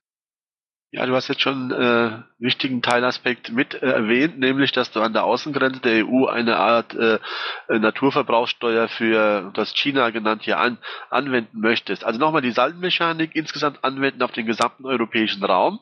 Äh, und dann, äh, wie bekommen wir die, die Freihandelsprobleme dann in den Griff, die sich automatisch ja äh, ergeben und im Augenblick sich ja auch manifestieren in den ähm, ja, wie soll ich sagen, in diesem Abwertungswettlauf oder in diesem, äh, was da gerade im Hintergrund läuft. Äh, äh, was, was ist da für ein Ratschlag von dir? Ähm, was können wir da einrichten, um diese Spannungen, die da im Augenblick sich massiv äh, aufbauen, in den Griff zu bekommen zwischen den Handelsblöcken? Also nochmal, Deutschland braucht die Export Überschüsse, weil seine inländischen Privaten zu viel sparen. Das ist zwar tabu und hat noch nie jemand davon gehört, aber genau das ist das Problem. Und deswegen, wir verschulden das Ausland für unsere Sparer und das Thema ist tabu. Dann bräuchten wir mal ein paar piratische Leute, äh, die das irgendwo äh, mit irgendeiner lustigen Form den Flassbeck und, und den Bushback, die fast alleine äh, dieses Lied immer wieder singen, äh, noch im, großen Chor in die, in die Welt tragen. Das wäre mal der Punkt eins. Und dann, dann wäre eben mal ganz wichtig, dass wir die Saldenmechanik irgendwo den Menschen näher bringen. Die meisten Menschen glauben heute, dass ein Staatshaushalt funktioniert wie ein Einzelhaushalt. Das heißt, wenn der Staat Schulden macht, dann hat er unsolide gewirtschaftet. Das ist der Blödsinn, den uns der Klaus Kleber äh, im Horter-Journal, im, im, ZDF dann um, um, um, abends dann den Leuten wieder erzählt. Das ist der Gedankengang, äh, den jeder Haushaltspolitiker in diesem Land wohl noch verfolgt. Das ist immer noch die Vorstellung, dass der Staatshaushalt, dass die, dass das, äh, dass ein Staatshaushalt so funktioniert wie ein Einzelhaushalt, sondern für den Staatshaushalt gilt saldenmechanisch die Formel, das Staatsdefizit ist identisch mit der inländischen privaten Geldvermögensbildung bereinigt um die Exportsalden. Das ergibt äh, das Staatsdefizit. Das heißt, äh, wenn man wenn man äh, ein Problem sieht in dem Staatsdefizit, dann muss man auf äh, diese äh, Größen Einfluss nehmen. Und äh, dann muss man das diskutieren, in welcher Form man auf diese eigentlichen Steuergrößen der Staatsverschuldung Einfluss nimmt. Und die gesamte politische Diskussion findet auf der Ebene statt. Ein Staatshaushalt funktioniert wie ein Einzelhaushalt und das ist einfach eine, eine Geschichte, die ist so ähnlich wie früher, wo man gedacht hat, die Erde ist eine Scheibe, weil man das Bild nicht hat, dass der Globalsatz eben das genaue Gegenteil aussagt des, Einzel, des Einzelhaushalts und das ist das Bild, was wir alle haben. Ne? Wir, wir sagen natürlich, das ist ja völlig irre. Wie soll denn durch Geld sparen die Verschuldung steigen der Privaten? Das ist ja völlig unlogisch. Wenn ich Geld spare, dann steigt doch mein Geldvermögen. Und das ist einfach eine Bildungslücke. Also hier fehlt einfach Bildung zu dieser grundlegenden Geschichte, dass also ein Staatshaushalt eigentlich genau andersrum funktioniert wie ein Privathaushalt. Wenn ich das kurz zusammenfassen kann, ist das im Prinzip das, was äh, Professor Bontrup in seiner kritischen Vorlesungsreihe gesagt hat, äh, dem Staat äh, beziehungsweise dem Kapitalismus ist, äh, sind die solventen Schuldner ausgegangen und ich glaube, an dem Solvent hängt so der Punkt. Denn wenn die Griechen genügend produzieren würden, könnten sie ja ihr Defizit in gewisser Weise ausgleichen. Ähm, der zweite Punkt, den ich sehe, ist, dass das Unverständnis darüber, dass Geld ein Saldo ist und kein Ding, im Zentrum steht, zusammen mit der Rationalitätenfalle, die du damit beschrieben hast, äh, dass eben der Partialsatz und der Globalsatz äh, nicht übereinstimmen. Ist das eine Zusammenfassung, die du äh, so teilst? Ja, also bei dem Problem, ich habe es ja beschrieben, da sind alle alle vier Punkte beteiligt. Ne? Also die, der, der, der Widerspruch zwischen dem Erleben des Einzelhaushalts, der, der da besteht, äh, die Rationalitätenfalle, das natürlich für viele Leute Geldvermögensbildung ein Lebensziel ist und das kann kein das kann eben nicht das Problem sein. Dann diese äh, Geldvermögensbildung als als äh, eine Geschichte, die meine die meine Ängste kompensiert, wo ich also e-, enorm schnell eben emotional werde. Das sind also die, die wichtigsten Punkte, dass wir also dieses Problem nicht wahrhaben wollen.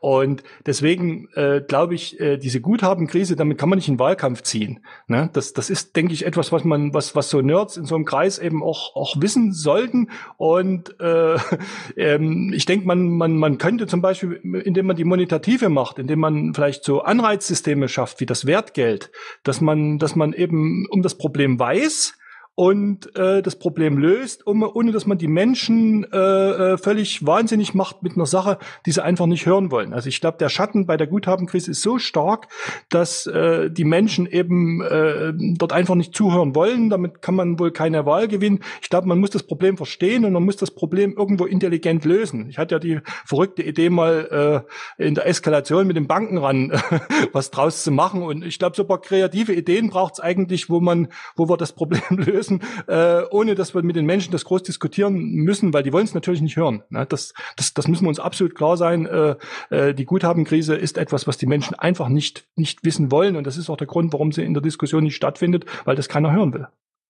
Richtig, das würde dann an der Stelle ja auch kognitive Dissonanz auslösen und das wollen viele Leute natürlich vermeiden. Jetzt ist Arne am Saalmikrofon als nächster dran. Ja, Jörg, ich bitte dich noch einmal dein Globalsatz genau zu definieren. Es ist ja so, auch die Globalsätze müssen dann bewiesen werden. Das klassische Beispiel, das hier ja vorgeführt wird von Stützel, ist ja, dass praktisch gesagt hat, wenn ein, wenn ein Unternehmen seine Preise senkt, dann kann es den Umsatz erhöhen. Das ist der Partialsatz.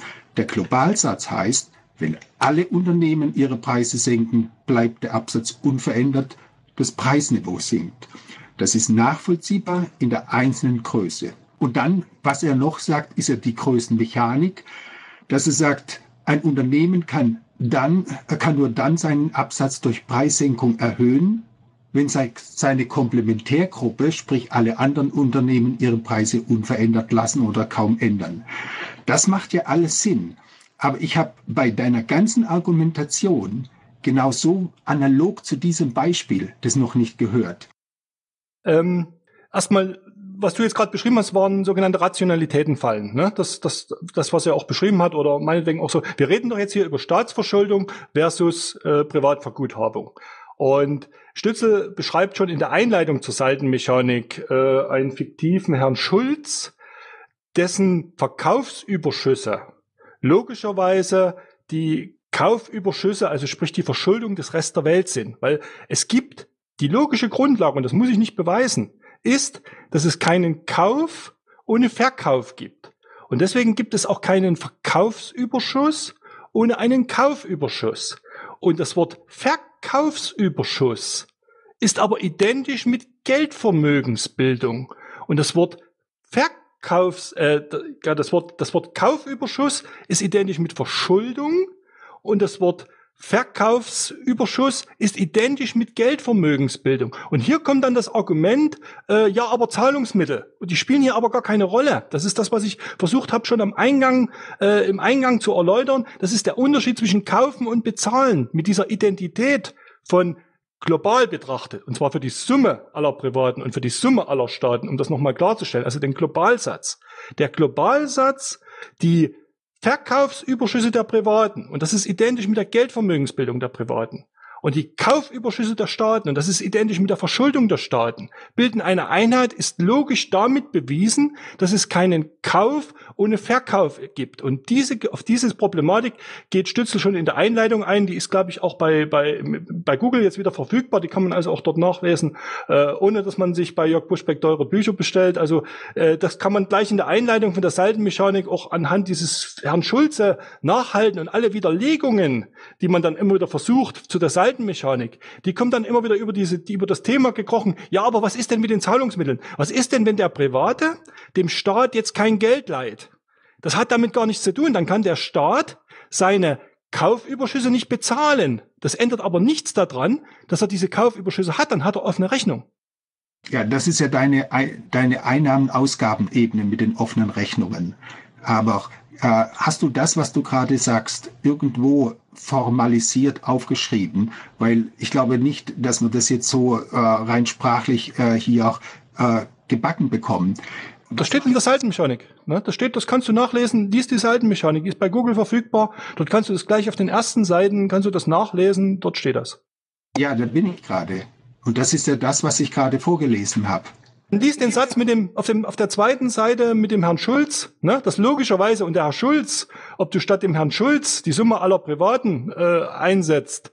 Äh, also man könnte genauso gut sagen, Stützel beschreibt dort gleich in der Einung den Herrn Schulz, dessen Verkaufsüberschüsse logischerweise die Kaufüberschüsse, also die Verschuldung des Rest der Welt sind. Und dann könntest du statt dem Herrn Schulz, könntest du jetzt auch die Summe der Schulzens dieser Welt einsetzen und könntest sagen, äh, die die Summe der Verkäufe, Verkaufsüberschüsse der äh, Privaten äh, ist identisch mit den, mit den Kaufüberschüssen der, der Staaten.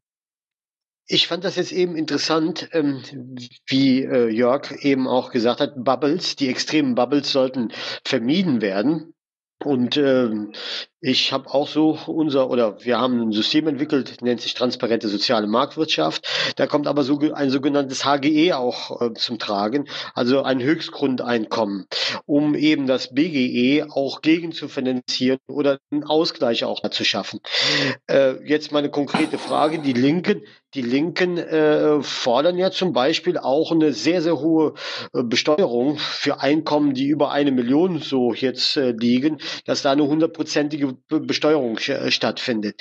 Ähm, aus deiner Sicht, Jörg, ist das der, der richtige Weg, um dann eben, gerade wenn du jetzt sagst, es hat eine Guthabenkrise, die, äh, äh, äh ja, die hat ja unser Problem jetzt hier verursacht und so weiter, äh, wäre dann eine Deckelung der Guthaben dann auch angebracht, um eben diesen, äh, diese extremen Krise, ja, diese, diese Bubbles auch zu verhindern oder ähm, aufzulösen oder zumindest äh, einzuengen. Äh, wäre da auch eine höhere Steuermöglichkeit äh, da eine Lösung für? Also die 100%-Geschichte äh, ist wohl nicht ganz ernst gemeint, äh, äh, das ist Wahlkampfgetöns, aber äh, wir hatten natürlich in Deutschland auch schon mal höhere Steuersätze und äh, äh, prinzipiell bin ich der Meinung, äh, dass man, dass, dass natürlich ähm, die Konzentrationsprozesse äh, dort auch einen gegen, gegenläufigen äh, äh, Effekt brauchen. Und äh, ich finde das Buch von, von der Wagenknecht sehr gut. Ähm, ich bin ja selber, bin ja selber auch Unternehmer. Und ich bin äh, rein theoretisch bilanziell bin ich auch Millionär Ne? Aber ich brauche natürlich ähm, das, was ich da habe an Eigenkapital. Das dient natürlich dazu, dass ich die Kredite für meinen mittelständischen Betrieb äh, finanzieren kann. Also das heißt, äh, es ist nicht so, dass ich, dass ich, dass mir diese Million zur Verfügung steht. Und die Wagenknecht sagt natürlich ganz klar, äh, wenn die, wenn die Betriebe vererbt werden oder verkauft werden, dann wäre das ja so, dass, dass äh, die, die, dieses Geld ja quasi flüssig wird. Und in dem Moment bin ich auch der Meinung, sollte man zugreifen. Aber es ist natürlich Blödsinn, einem mittelständischen Unternehmer, der äh, investiert, Ideen umsetzt, vielleicht auch in die richtige Richtung, äh, dort äh, quasi mit äh, ihm das Geld wegzunehmen, was er ja gar nicht nutzt, um, um sich eine Yacht zu kaufen, sondern vielleicht um Arbeitsplätze zu schaffen oder neue Technologien voranzutreiben. Ne? Das, das muss man einfach differenzierter betrachten. Aber ich denke, ich sehe das so wie Wagenknecht, nicht so radikal, weil es ist natürlich auch aus meiner Sicht ähm, der mittelständische Unternehmer würde sich ja wahrscheinlich nicht anstrengen, wenn ihm, wenn er weiß, er kann nicht überhaupt nichts vererben. Aber ich bin der Meinung, man sollte eben auch für Betriebe äh, eine, eine ordentliche Erbschaftssteuer haben. Also ich wollte eine Kleinigkeit zur äh, Saldenmechanik. Also hier entsteht der Eindruck, als ob ein sozusagen ein Aggregat seine Pläne aufzwingen kann. Also in Wirklichkeit ist es so, dass der, dass der Stützel sagt, dass eine Gruppe nur insoweit ein, zum Beispiel einen Einnahmenüberschuss erzielen kann, als die andere Gruppe bereit ist, einen Ausgabenüberschuss hinzunehmen. So, und jetzt hier, also ich denke, dass, dass das Stützel hier falsch interpretiert wird. Der, das Defizit äh, des Staates entsteht nicht dadurch, dass die anderen zu gut sparen, sondern es entsteht schlicht und ergreifend, dass der Staat darauf verzichtet, seine Ausgaben durch Steuern und Gebühren zum Ausgleich zu bringen. In dem Moment, wo er das macht, wird sozusagen das Guthaben automatisch zurückgehen, weil von irgendwo müssen es die Bürger zahlen. Ja, also die, das, äh, das Stützelsche System ist eigentlich eine Art äh, tautologisches Identitätssystem. Es kann im Grunde genommen folgendes sein. Die ganze Welt kann sich bei einer einzelnen, rein theoretisch bei einer einzelnen Familie oder Person verschulden. Es ist immer die Komplementärgruppe, ist die Gruppe, die eben nicht die, äh, die Gruppe ist, die in Frage steht. Also es kann eine Person sein und immer der Rest der Welt oder innerhalb eines Unternehmens die anderen Unternehmen. Also ich sehe da noch lange keine Guthabenkrise kein Dissens zu den Ausführungen, ne? überhaupt kein Dissens. Äh, dass es also nur so ist, dass die, dass die, ähm, wenn die anderen bereit sind, das hinzunehmen, das ist also die, die Größenmechanik, auf die ich auch immer äh, die ja neben dem Globalsatz gibt es ja noch die Größenmechanik und wir haben zu dieser Sache keinen Dissens. Ich komme zu dieser Frage, wenn ich am Ende, äh, wer, wer den Film gesehen hat, äh, diese wichtigste Formel des Kapitalismus. Und dort sehen wir, dass wir heute keine Nettoinvestition haben und deswegen, dass der Staat über seine Verschuldung es erstmal möglich macht, dass die Unternehmer heute überhaupt noch einen Gewinn haben oder Gewinnaussichten haben. Und das muss nicht der eigene Staat sein, sondern man kann über Exportüberschüsse die anderen Staaten verschulden. Und die Entwicklung dieser Nettoinvestition, die ist in allen Staaten ähnlich. Das, die Entwicklung ist überall gleich, so wie sie Karl Marx schon vor 200 Jahren beschrieben hat. Dass also eine Akkumulationsprozesse stattfinden, dass also die Unternehmer sich äh, immer mehr aus Abschreibungen finanzieren. Und dann kommen wir in die Situation, dass der, dass der Kapitalismus quasi immer mehr zum Staatsbastard wird. Das erklärt diese wichtigste Formel des Kapitalismus und die geht netto, das ist auch Seitenmechanik, die stammt aber von Keynes, die hat Stützel nur bestätigt. Nettoinvestitionen plus Unternehmerkonsum minus Geldvermögensbildung der Nichtunternehmer, das ist der, der, der Gewinn der Unternehmer. Und wenn die Unternehmer einen Haufen Nettoinvestitionsbedarf haben, weil gerade Krieg war und alles kaputt geklopft ist, dann kann, in den 70er Jahren hatten wir 17 Prozent Nettoinvestitionsbedarf, da konnte der Staat Überschüsse machen, da haben die Unternehmer noch gut verdient, da konnten die Privaten 10 Prozent vom BIP sparen, da war die Welt in Ordnung. Und heute haben wir keine Nettoinvestitionen mehr. Und deswegen ist der Staat gezwungen, diese Verschuldung zu machen, damit das System nicht in die Kernschmelze geht. Das ist das, was ich vorhin sagte. Wir sind dort erpressbar und das ist nicht so einfach zu erkennen, weil über diese Formel auch keiner spricht, weil die Buchhaltung keiner auswertet, weil diese Buchhaltungszahlen nicht ausgewertet werden, weil sie nicht transparent gemacht werden und weil diese Grundzusammenhänge nicht transparent gemacht werden. Und wenn wenn das passiert, dann wird man auch verstehen, warum eben der Staat diese Schulden machen muss, obwohl diese Größenmechanik von mir nicht bestritten wird. Es ist aber so, dass der Staat über diesen Mechanismus der Verhinderung in der Weltwirtschaftskrise gezwungen ist, entweder sich selber oder andere Staaten über Exportüberschüsse zu äh, verschulden, wenn das System nicht in eine Abwärtsspirale kommen soll, weil diese Formel auch eine negative Rückkopplung hat. Also die Nettoinvest, wenn die Investitionstätigkeit einbricht, dann werden diese Nettoinvestitionen sogar negativ und das ist also eine sogenannte positive Rückkopplung. Äh, das ist wie eine Bombe gebaut. Das ist im Prinzip ja genau das, was auch in Japan passiert ist und was wir dort gut beobachten können. Hier bloß ein kurzer Verweis darauf, dass man das da exemplarisch ganz gut sieht. Jetzt würde ich an Matthias Garscher weitergeben. Ja, danke. Ähm, Jetzt haben wir ja die Situation, dass die ganze Zeit in der Geldpolitik äh, mit freien Wechselkursen gearbeitet worden ist, Jörg, und dass äh, führende Vertreter in der Geldtheorie wie Taylor, äh, Mandel und was weiß ich wer äh, gesagt haben, das ist gut so und dass keine Kooperation der Notenbanken eigentlich notwendig ist. Ähm, bei den letzten Tagungen, Jackson Hole oder jetzt auch in San Diego, ähm, ist deutlich geworden, dass sie von dieser Position gerade abrücken müssen. Dass jetzt aufgrund der Spannungen, die in dem weltweiten System existieren, äh, es notwendig wird, dass kooperiert werden muss. Ohne Kooperation geht es scheinbar nicht mehr. Ähm, du bist vorhin nicht ganz eingegangen auf diese Problematik, auf diese äh, Problematik auf der globalen Ebene im Finanzsystem. Was steht uns denn da bevor? Äh, und äh, wie sehen denn da überhaupt Lösungsansätze aus?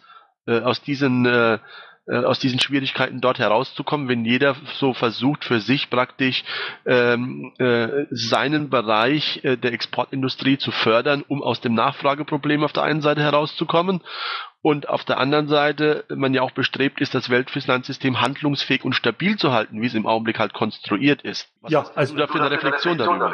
Also ich halt bin ein großer Fan von einzelwirtschaftlichen Wettbewerb und ich stimme aber auch Flassbeck völlig zu. Äh, der Wettbewerb der Nationen, das ist ein, ein, großer Blödsinn und in dem Moment, wo wir in diese Unternachfragekrise reinlaufen, äh, ist das die Vorstufe zum Krieg. Ne? Erst ist der Währungskrieg, dann äh, äh, werden sich da weitere Konflikte daraus ergeben und ähm, mein Vorschlag von dem Monetative äh, besteuert, äh, schafft das binnenwirtschaftliche Gleichgewicht und wenn es kein außenwirtschaftliches Gleichgewicht gibt, dann machen wir das gleiche wie Plisch und Blum äh, zur großen Koalition, dann besteuern wir unsere Exporte. Also wir müssen das den anderen ja gar nicht antun. Wir müssen auch nicht abwarten, bis die unsere äh, quasi, äh, äh, bis die ihre Importe besteuern. Lasst uns doch unsere Exporte besteuern, so wie das in Deutschland schon praktiziert wurde. Wir müssen nur die Dinge eigentlich machen, die man in Deutschland äh, schon längst mal gemacht hat. Und wir können darauf Bezug nehmen, dass wir ein Grundgesetz haben. Wir haben im Grundgesetz, wir haben ein Stabilitätsgesetz, das verbietet uns diese Außenhandelsüberschüsse, die wir heute haben. Also es ist auch ein wunderbarer politischer Ansatz, jetzt mal ranzugehen und zu sagen, Freunde,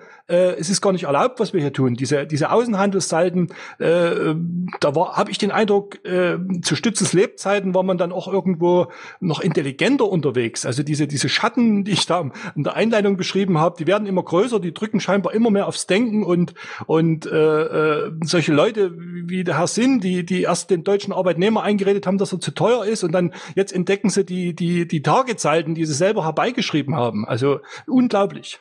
Jetzt kann ich da mal auch etwas in den Nahbereich sehr, sehr konkret. Export besteuern führt am Ende dazu, dass der Export abnimmt und wenn wir, wenn wir es richtig machen, sogar auch mal gegen äh, ein, zu einem ausgeglichenen Handelsbilanzsaldo führen kann oder sogar ein negatives, was Flassbeck ja auch fordert. Ähm, momentan haben wir durch den Exportüberschüsse Zufluss von Zahlungsmitteln, Geldvermögensbildung im Inland äh, Verschuldung des Auslandes. Ähm, wir stellen die Verschuldung des Auslandes in Frage. Es kommt dazu, hast du vorher noch einmal ausgeführt, am Ende muss äh, zur Geldvermögenserhaltung das Inland, sprich der deutsche Staat, die, äh, die, die Staatsschulden übernehmen. Und bevor das gesagt hast, war, dann wäre es doch gleich besser gewesen, wir hätten die Schulden hier gemacht und hätten dafür etwas gebaut.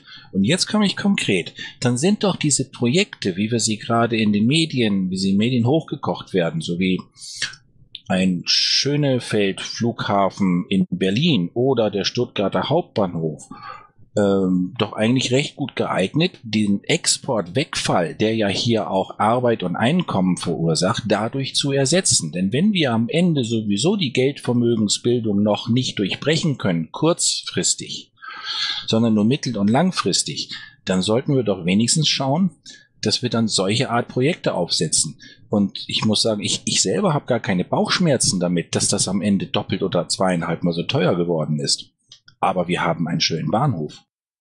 Ja, als zweitbeste, also alles, ich sag, alles ist besser als Krieg. Ne? Der Klassiker in dieser Situation, um es ganz klar festzuhalten, ist der Krieg. Und wir sehen schon, dass, dass irgendwo Kriege überall auf einmal auftauchen, wo wir äh, ja immer eigentlich Deutschland ja pazifistisch war nach dem Krieg und, und dann fangen die Grünen an und bombardieren das Kosovo und, äh, dann kracht's dort und dann kracht's dort und, und äh, aus Terroristen werden Rebellen und die müssen wir unterstützen und, und es läuft ja schon, schon äh, viel in diese Richtung Krieg auch und ich denke, das müssen wir auch in dem wirtschaftlichen Kontext sehen und, und das ist die Hauptgeschichte, dass wir einen neuen Krieg äh, verhindern verhindern, der Nettoinvestitionen schafft. Ne? Wir müssen, wir müssen Krieg äh, äh, verhindern und dann ist es mir natürlich lieber, es wird ein Bahnhof gebaut. Aber viel besser ist es natürlich, wenn wir die Fehlallokation vermeiden, wenn wir also sagen, okay, wir machen aus, wir machen, wir bringen den Privaten dazu, dass er quasi selber äh, mit geringem Risiko investiert, unternehmerisch tätig ist in seinem Land, dass wir hier eine Kreislaufwirtschaft schaffen, dass wir hier eine richtig äh, gute, äh, beste Bedingungen schaffen in diesem Land. Und wenn es nicht anders geht, dann soll es der Staat machen. Aber eine Alternative ist natürlich dann auch äh, zu überlegen, wenn wir so eine Unternachfragesituation haben, ob wir dann nicht doch lieber einen Teil ins Grundeinkommen geben, um äh, wenn, wenn der Bürger schon nicht investieren will, dann soll er halt konsumieren. Vielleicht gibt es ja auch genug Leute, die, die da durchaus auch noch Bedarf hätten. Das hat es mit der Sache zwar jetzt nicht ganz zu tun, aber indirekt dann doch wieder. Es wurde jetzt mehrfach die Schwaben angesprochen und ich bin einer davon. Äh, mit diesem Bahnhof, ähm, die Schwaben wollen ein Bahnhof, der kostet irgendwo 400 Millionen. Das nennt sich dann K21, also das Bestehende optimieren. Und ähm, diese Lobbyisten, die wollen ein Immobilienprojekt, dass diese Immobilien äh, dann in Privathand wandern und äh, die Bahn, das Land und äh, die Stadt Stuttgart finanzieren das über Schulden. Und äh, der Rechnungshof hat äh, bei 5,8 Millionen, 5,8 Milliarden errechnet, äh, dass dieses äh, Tunnel, äh, der Tunnelbahnhof eine Moment, eine äh, negative Kapitalverzinsung hat. Und 5,8 ist ja noch nicht 5,8 Milliarden sind noch nicht das Ende der Fahnenstange. Also den Schwaben geht es äh, darum, sie wollen keine negative Kapitalrendite, A und B, sie wollen, wenn dann, Verschuldung für was Sinnvolles. Ja, also äh, ich mache ja auch mal so Scherz, die, die schwäbische Hausfrau, das ist natürlich ein Bild, was mittlerweile irgendwo dafür steht. Das ist also Sachsen und Schwaben, also äh, ist sowieso so ein Volk von Tüftlern, die sich sehr ähnlich sind. Also von meiner Seite her, äh, äh das bitte nicht falsch verstehen, das ist also kein, kein Schwabenbashing, wenn ich mal einen Scherz mal über die schwäbische Hausfrau, das ist ein Bild. Ne? Das hat mit, mit äh, der Sache nichts zu tun. Und, und zu dem Thema äh, ist natürlich so, dass, dass äh, ein Großteil äh, der Sparer natürlich nicht weiß, dass die Schuldner äh, quasi aus sind, dass wir also die, dass wir also dringend äh, äh, Schulden eigentlich brauchen würden, sondern die Diskussion läuft ja, dass wir die Staatsschulden abschalten wollen und über das private Sparen wollen wir nicht reden. Und deswegen haben wir diese Exportüberschüsse, weil uns das, das genau das ermöglicht und äh, unsere kognitiven Dissonanzen quasi hier zu pflegen. Und ähm, das ist halt die spannende Diskussion, wie man, wie man eben jetzt, äh, es gibt ja von mir diesen Aufruf zu einer gesellschaftlichen Diskussion, dass wir eine Diskussion führen, wie wollen wir sparen, wo wir, wo wir mal ganz nüchtern reingehen in diese, in diese Geschichte, mal feststellen, dass eigentlich die solventen Privatschuldner jetzt aus sind und dann müssen wir einfach drüber reden, wie wir damit umgehen und diese Diskussion gibt es ja nicht. Es, es wird ja weiterhin äh, von 99 Prozent der Menschen eben äh, der Zusammenhang überhaupt nicht gesehen. Ne? Und, und das ist ja das Problem. Also und das wäre auch ein Ansatz irgendwie äh, vielleicht nicht unbedingt für die Piraten, aber für irgendwelche Aktionen, äh, wie wir irgendwo den Menschen natürlich erstmal diesen Grundzusammenhang nahe bringen bringen und überhaupt unsere, äh, und das wäre natürlich die Aufgabe der Ökonomen, deswegen bin ich so garstig mit denen, weil äh, das wäre natürlich denen ihre Aufgabe, äh, mal dem Bürger zu erklären, passt auf, ein Staatshaushalt funktioniert anders und unsere makroökonomische Situation, hier ist die Buchhaltung, wir haben keine Nettoinvestitionen mehr, wir, äh, wir sind in größten Schwierigkeiten, lasst uns mal drüber reden und genau das machen die Volkswirte nicht und deswegen bin ich mittlerweile auch so äh, bissig und, und gehässig mit meinen, mit meinen Postings, um die Leute auch zu provozieren, dass sie endlich mal, äh, also das ist jetzt so quasi von mir auch so der äh, Ansatz. Ne? Das Thema Schuldenbremse, Jörg, hast du ja schon äh, mehrfach angesprochen und ähm, das ist auch eins, was mir so ein bisschen auf dem Herzen liegt, weil du sagtest gerade eben, so im Nebensatz, naja, das ist vielleicht nicht unbedingt die Aufgabe der Piraten, ähm, äh, die diese Zusammenhänge zu erklären, sondern das sollte mehr äh, vielleicht im Bereich der äh, Wissenschaftler oder der, der Volkswirtschaftler oder so äh, gehen, sondern da würde ich sogar widersprechen. Denn ähm, ich bin der Meinung, äh, wir sind ja nun mal eine politische Partei und wenn wir die Erkenntnis haben, ähm, dass die Schuldenbremse äh, absolut falsch ist, volkswirtschaftlich falsch ist, was dort passiert, dann sollten wir damit auch nach draußen treten. Und damit sind wir natürlich dann auch sofort äh, gegen äh, alle anderen Parteien, die im Bundestag vertreten sind. Ähm, sogar die Linke hat jetzt, habe ich gerade gelesen, in Sachsen ähm, sie, äh, dafür gestimmt, die Schuldenbremse gesetzlich festzuschreiben.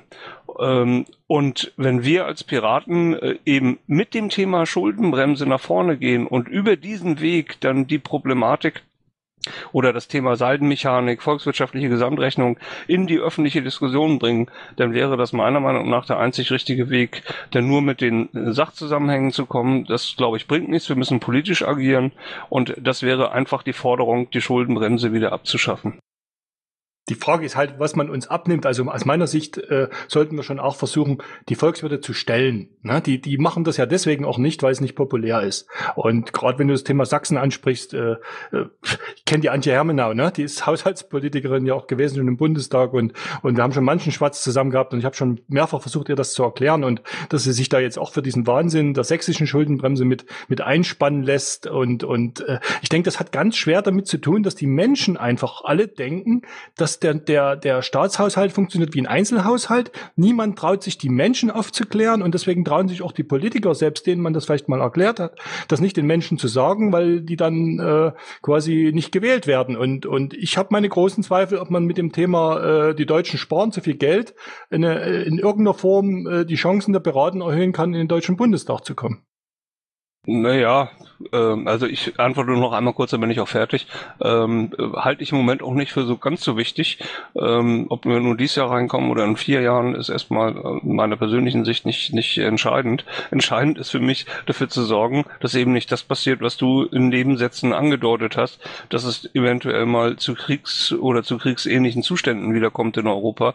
Und da sollte man alles dagegen tun. Und wenn das ein Weg wäre, das zu verhindern, eben die Menschen aufzuklären und sei es nur als politische Partei äh, gegen etwas, was im Mainstream sich durchgesetzt hat, äh, zu opportunieren, dann halte ich das schon für einen vernünftigen Weg.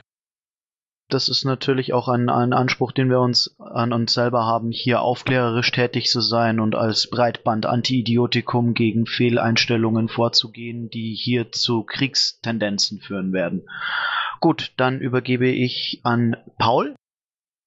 Ja, äh, ich möchte einfach mal einsetzen und äh, eine konkrete Frage stellen bezüglich der Zeitdauer aus deiner persönlichen Sicht, ähm, wann du meinst, dass unser System, wenn wir es so weitermachen wie jetzt, ja, und äh, das ist ja dann eben eine Guthabenkrise, so kann man es ja dann auch aussehen, wirklich an die Grenze stößt und wo es dann eben zu, zu sehr ernsthaften, ja, wenn auch kriegerischen Konflikten kommt, die ja bis jetzt noch ähm, vermieden wird. Ähm, siehst du da auch einen Zeitraum, der also jetzt in, in den nächsten drei Jahren oder vier Jahren äh, wirkt werden kann? Oder sagst du, nee, das wird einen, höheren Zeitraum in, in Anspruch nehmen, da jetzt da doch vielleicht einige Gegenmaßnahmen, ESM oder wie sie auch immer heißen mögen, da doch wirken und äh, so großen Konflikte, die werden also ähm, über oder vier, fünf Jahre und darüber dauern, bis die dann äh, Wirklichkeit werden. Also ich habe es ja im Einleitung schon gesagt, wir haben einen Schatten, wir verdrängen was, das ist die, die Guthabenkrise äh, und das, der Zusammenhang mit den Schulden. Und äh, wir haben etwas gemacht, nämlich die, versucht, diesen Schatten zu verdrängen über die Schuldenbremse. Und je nachdem, wie verrückt wir sind, das umzusetzen, ne, also genau den falschen Weg, statt zu sagen, wir integrieren die Schulden, der Weg heißt monetative, äh, wir integrieren den Schatten und die Schulden, äh, haben wir uns entschlossen, äh, die Verdrängung noch zu steigern. Und äh, wir haben diese Schuldenbremse ja quasi durchgezogen in den, in den südlichen Ländern Südeuropas. Und da sind ja quasi schon bürgerkriegsreife Gebiete entstanden. Also äh, dort kann es ja jeden Tag passieren, dass irgendwo äh, mit, was habe ich heute gelesen, über 60 Prozent Jugendarbeitslosigkeit in Griechenland, äh, ähm, dass da irgendwie äh, sehe ich schon die Drohnen fliegen. Ne? Also die, die, die, die Sache ist quasi ja schon kurz vor der Eskalation. Und äh, wir sind ja jetzt jetzt auch schon in Deutschland. Wir merken jetzt, unsere Exporte gehen zurück und damit werden auch die Steuereinnahmen wieder sinken. Und wenn wir jetzt so verrückt sind, in Deutschland diese Schuldenbremse vielleicht noch umzusetzen, dann geht es relativ schnell in die Eskalation. Und das muss man ja Merkel zugute halten, dass sie ja quasi schon Krieg gegen Autos geführt hat 2009. Die hat also ganz erfolgreich Krieg geführt in Deutschland gegen Pkw.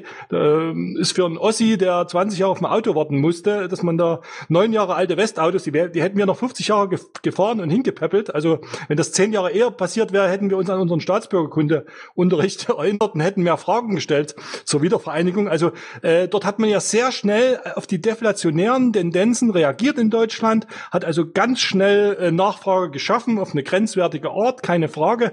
Aber wenn man jetzt so verrückt ist, die großen Volkswirtschaften, Deutschland, Amerika, wo man ja auch jetzt äh, eigentlich das Problem erkannt hat und das Thema über, über das Thema Klippe diskutiert, wo man nicht weiß, drehen die Republikaner mal durch, äh, kommt es wirklich zu der Situation, dass man, äh, ohne dass man eine Guthabenbremse hat, eine Schuldenbremse durchzieht, dann geht es sehr schnell in die Eskalation. Umgekehrt haben die Ereignisse gezeigt, 2008 hat, hat Martin im gelben Forum dreimal Game Over ausgerufen und, und die Amerikaner haben uns gerettet 2008. Die haben so viel äh, ja, Nachfrage auf Verschuldung gemacht, dass uns das gerettet hat. Ne?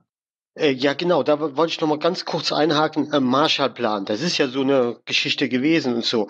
Wärst du zum Beispiel dafür, dass man jetzt zum Beispiel sagt, okay, ein Privatmann, wie du es ja auch bist, der ja auch da äh, investiert, der dann sagt, okay, liebe Leute oder Bank und so weiter, gib mir mal eine Million Euro und ich baue euch dafür Brunnen, äh, auch in, was weiß ich, in Griechenland oder in Afrika und so weiter, da wo es angebracht äh, wird und so weiter. Und dafür brauche ich äh, sehr wenig oder überhaupt gar keinen Zins äh, zu bezahlen, wie das ja auch früher in Deutschland gewesen ist mit dem äh, sozialen Wohnungsbau und so weiter, so dass man sagen kann, man sollte den Privatbürgern mehr äh, Möglichkeiten geben, die also auch dann solide und auch dann eben auch das nachweisen können, dass sie dann eben solide da investiert haben, die Freiheit geben, über Gelder zur Verfügung, die im Ausland investieren können. Also das wäre ja eine Sachwertinvestition.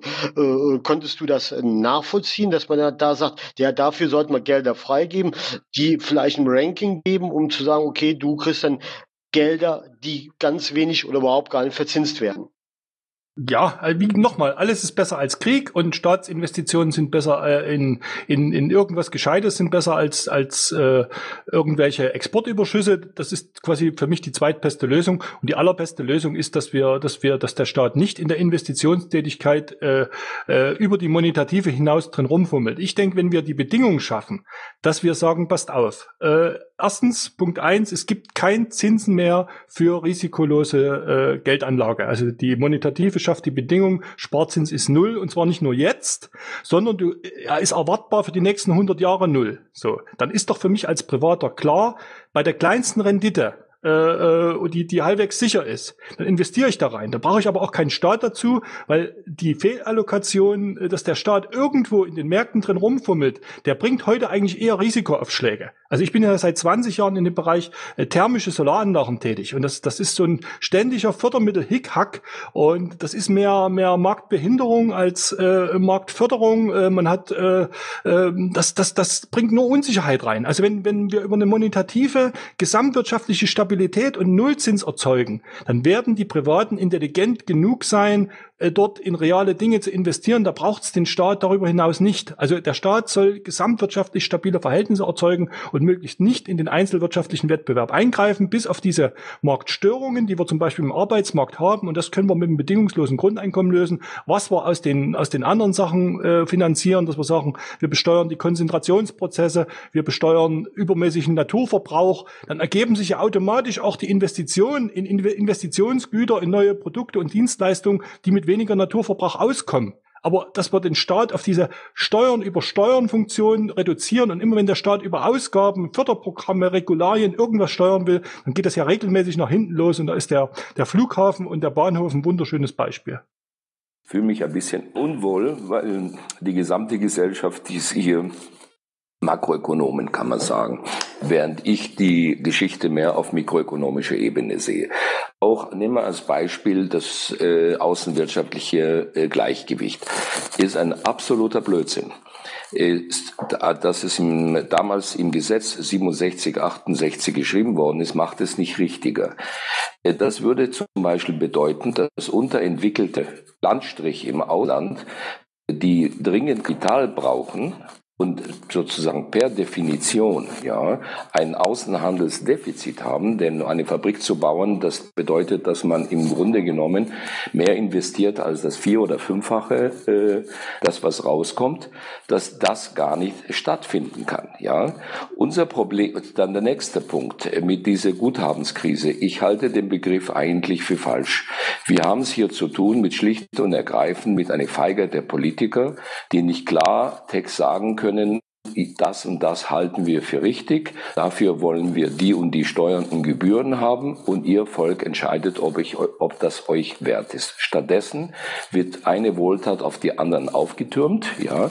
Blödsinn, wie zum Beispiel die Seehofische äh, Betreuungspauschale bist so sinnvoll und es wird nicht gegenfinanziert. Es besteht kein Grund, warum der Staatshaushalt nicht über Steuern und, Aus und Gebühren finanziert wird. In dem Moment sinkt sowieso das Guthaben der Leute. Denn die Gegenseite wäre, dass die Leute wild entschlossen sind, ein bestimmtes äh, Volumen absolut vom Einkommen auf die hohe Kante zu legen. Und wenn der Staat ihnen einen Teil des Einkommens wegnimmt, dass sie dann sozusagen nicht die Ersparnisse zurückfahren, sondern ihren Konsum zurückfahren. Ja? Und ähm, ich halte diese ganze makroökonomische Betrachtung eigentlich für falsch.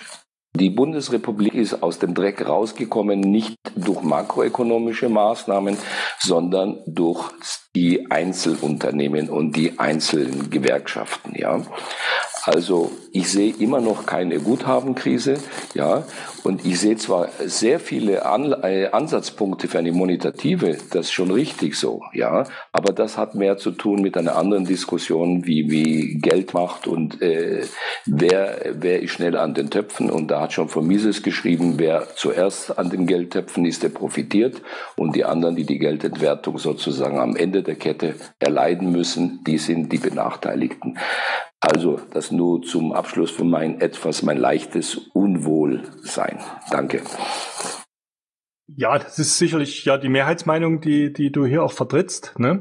Und ähm, ich traue mir halt zu, ähm, das über diese Formel äh, zu belegen, also über, über den Blick in die Buchhaltung, nämlich den Nettoinvestitionsbedarf, der sich ja, äh, findest du ja auch auf meiner Webseite oder auch in meinem Video, dass also die entscheidende Größe ist, dass dieser Nettoinvestitionsbedarf, der 1970 bei 17 Prozent gelegen hat, wo also der Kapitalismus nach dieser Formel äh, wunderbar funktioniert hat und dass er eben heute nicht mehr funktioniert ohne Staatsverschuldung, weil ohne Staatsverschuldung würden die Unternehmen heute keine Gewinne mehr machen und wenn die Unternehmen nichts mehr verdienen, dann stellen es die Leute aus. So einfach ist es. Wenn ich nichts mehr dran verdienen kann, dass ich, dass ich äh, Einkommen vorfinanziere, dann finanziere ich kein Einkommen mehr vor, dann macht, äh, ist das auch nicht unbedingt meine Entscheidung als böser Unternehmer. Dann dreht mir nämlich die Bank den, den Saft ab, äh, ganz zu Recht, weil die sagt, du bist nicht kapitaldienstfähig und äh, äh, das ist dann so. Also das liegt auch nicht unbedingt in der Entscheidungsgewalt des, des Unternehmers, dass äh, wenn die Unternehmen äh, haben bei dem heutigen Nettoinvestitionsraten und bei der Geldsparquote der Deutschen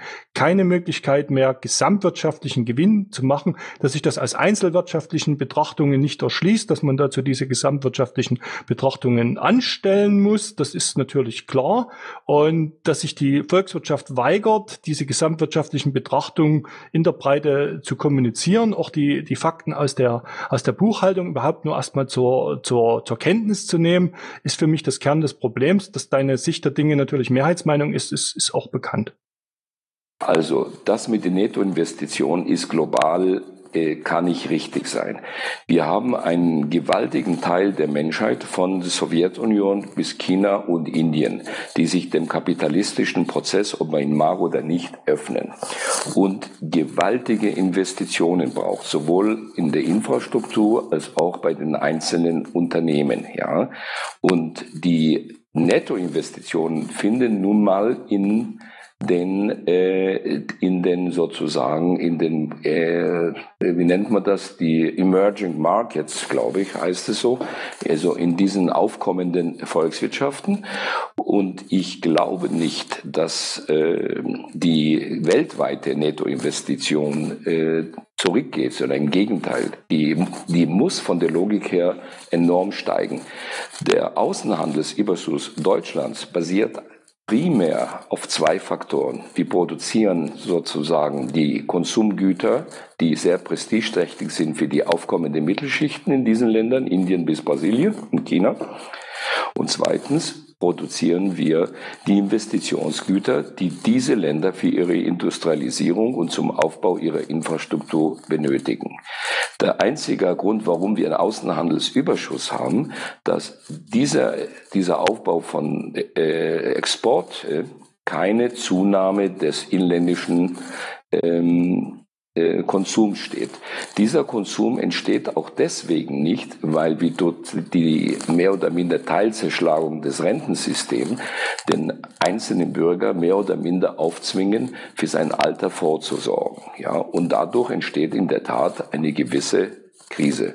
Einer der Wege davon wäre zum Beispiel, dass den Generationenvertrag wieder auf solide eine zu stellen, so dass einer eigentlich nicht sparen muss, zumindest als Arbeitnehmer wir haben da völlig einen Konsens, ne, gerade zu dieser Rentengeschichte. Also da sind wir uns sind wir uns absolut einig. Ähm, es ist nur so, diese Exportüberschüsse sind die Verschuldung des Auslands und die treiben in den Ländern erstmal die Verschuldung hoch. Nämlich äh, es ist ja in den Ländern so, dass quasi die Importüberschüsse eins zu eins die Staatsverschuldung erhöhen in der gesamtwirtschaftlichen Betrachtung. Das ist nun mal die Seitenmechanik.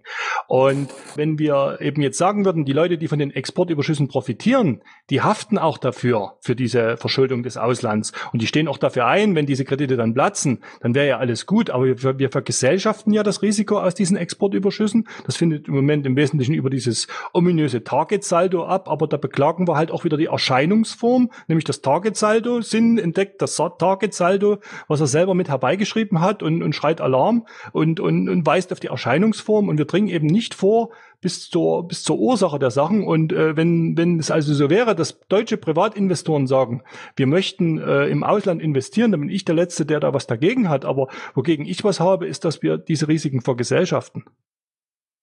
Da bin ich vollkommen deine Meinung, aber das analytische Instrumentarium, das du da anwendest, halte ich nicht für richtig. Das ist nicht das, was der Wolfgang Stützel gemeint hat. Der hat nichts anderes gemeint, dass man triviale Wirtschaftsbeziehungen nicht aus den Augen verlassen darf. Die Diskussion bisher fand ich sehr spannend. Meine Frage geht in die Richtung zu gucken, unterhalb der Haltenmechanik ist allbekannt, dass Bilanzen angeschaut werden und in der volkswirtschaftlichen Gesamtrechnung hat man die Zahlungsbilanz, die sich wiederum aufgliedert in die Leistungsbilanz, Kapitalbilanz, Vermögensübertragung und Devisenbilanz. Meine Frage geht Wieso ist die, kann die Leistungsbilanz einen Überschuss aufweisen? Woher kommt es? Weil meines Wissens sind Bilanzen per se, per Definition immer ausgeglichen. Ja, also äh, natürlich kann das, das, das ist ausgeglichen. Ne? Der, unser Exportüberschuss ist, ist äh, der Importüberschuss der Importländer. Ne? Also sprich, äh, diesem, diesem Exportüberschuss steht dann eine Forderung gegen diese Länder effektiv äh, gegenüber, entweder von äh, inländischen Privaten oder eben, wie wir es jetzt haben, als vergesellschaftetes Risiko der Bundesbank. Also diese, diese Gegenbuchung, die findet sehr wohl statt und das ist im Moment im Wesentlichen das Target-Saldo.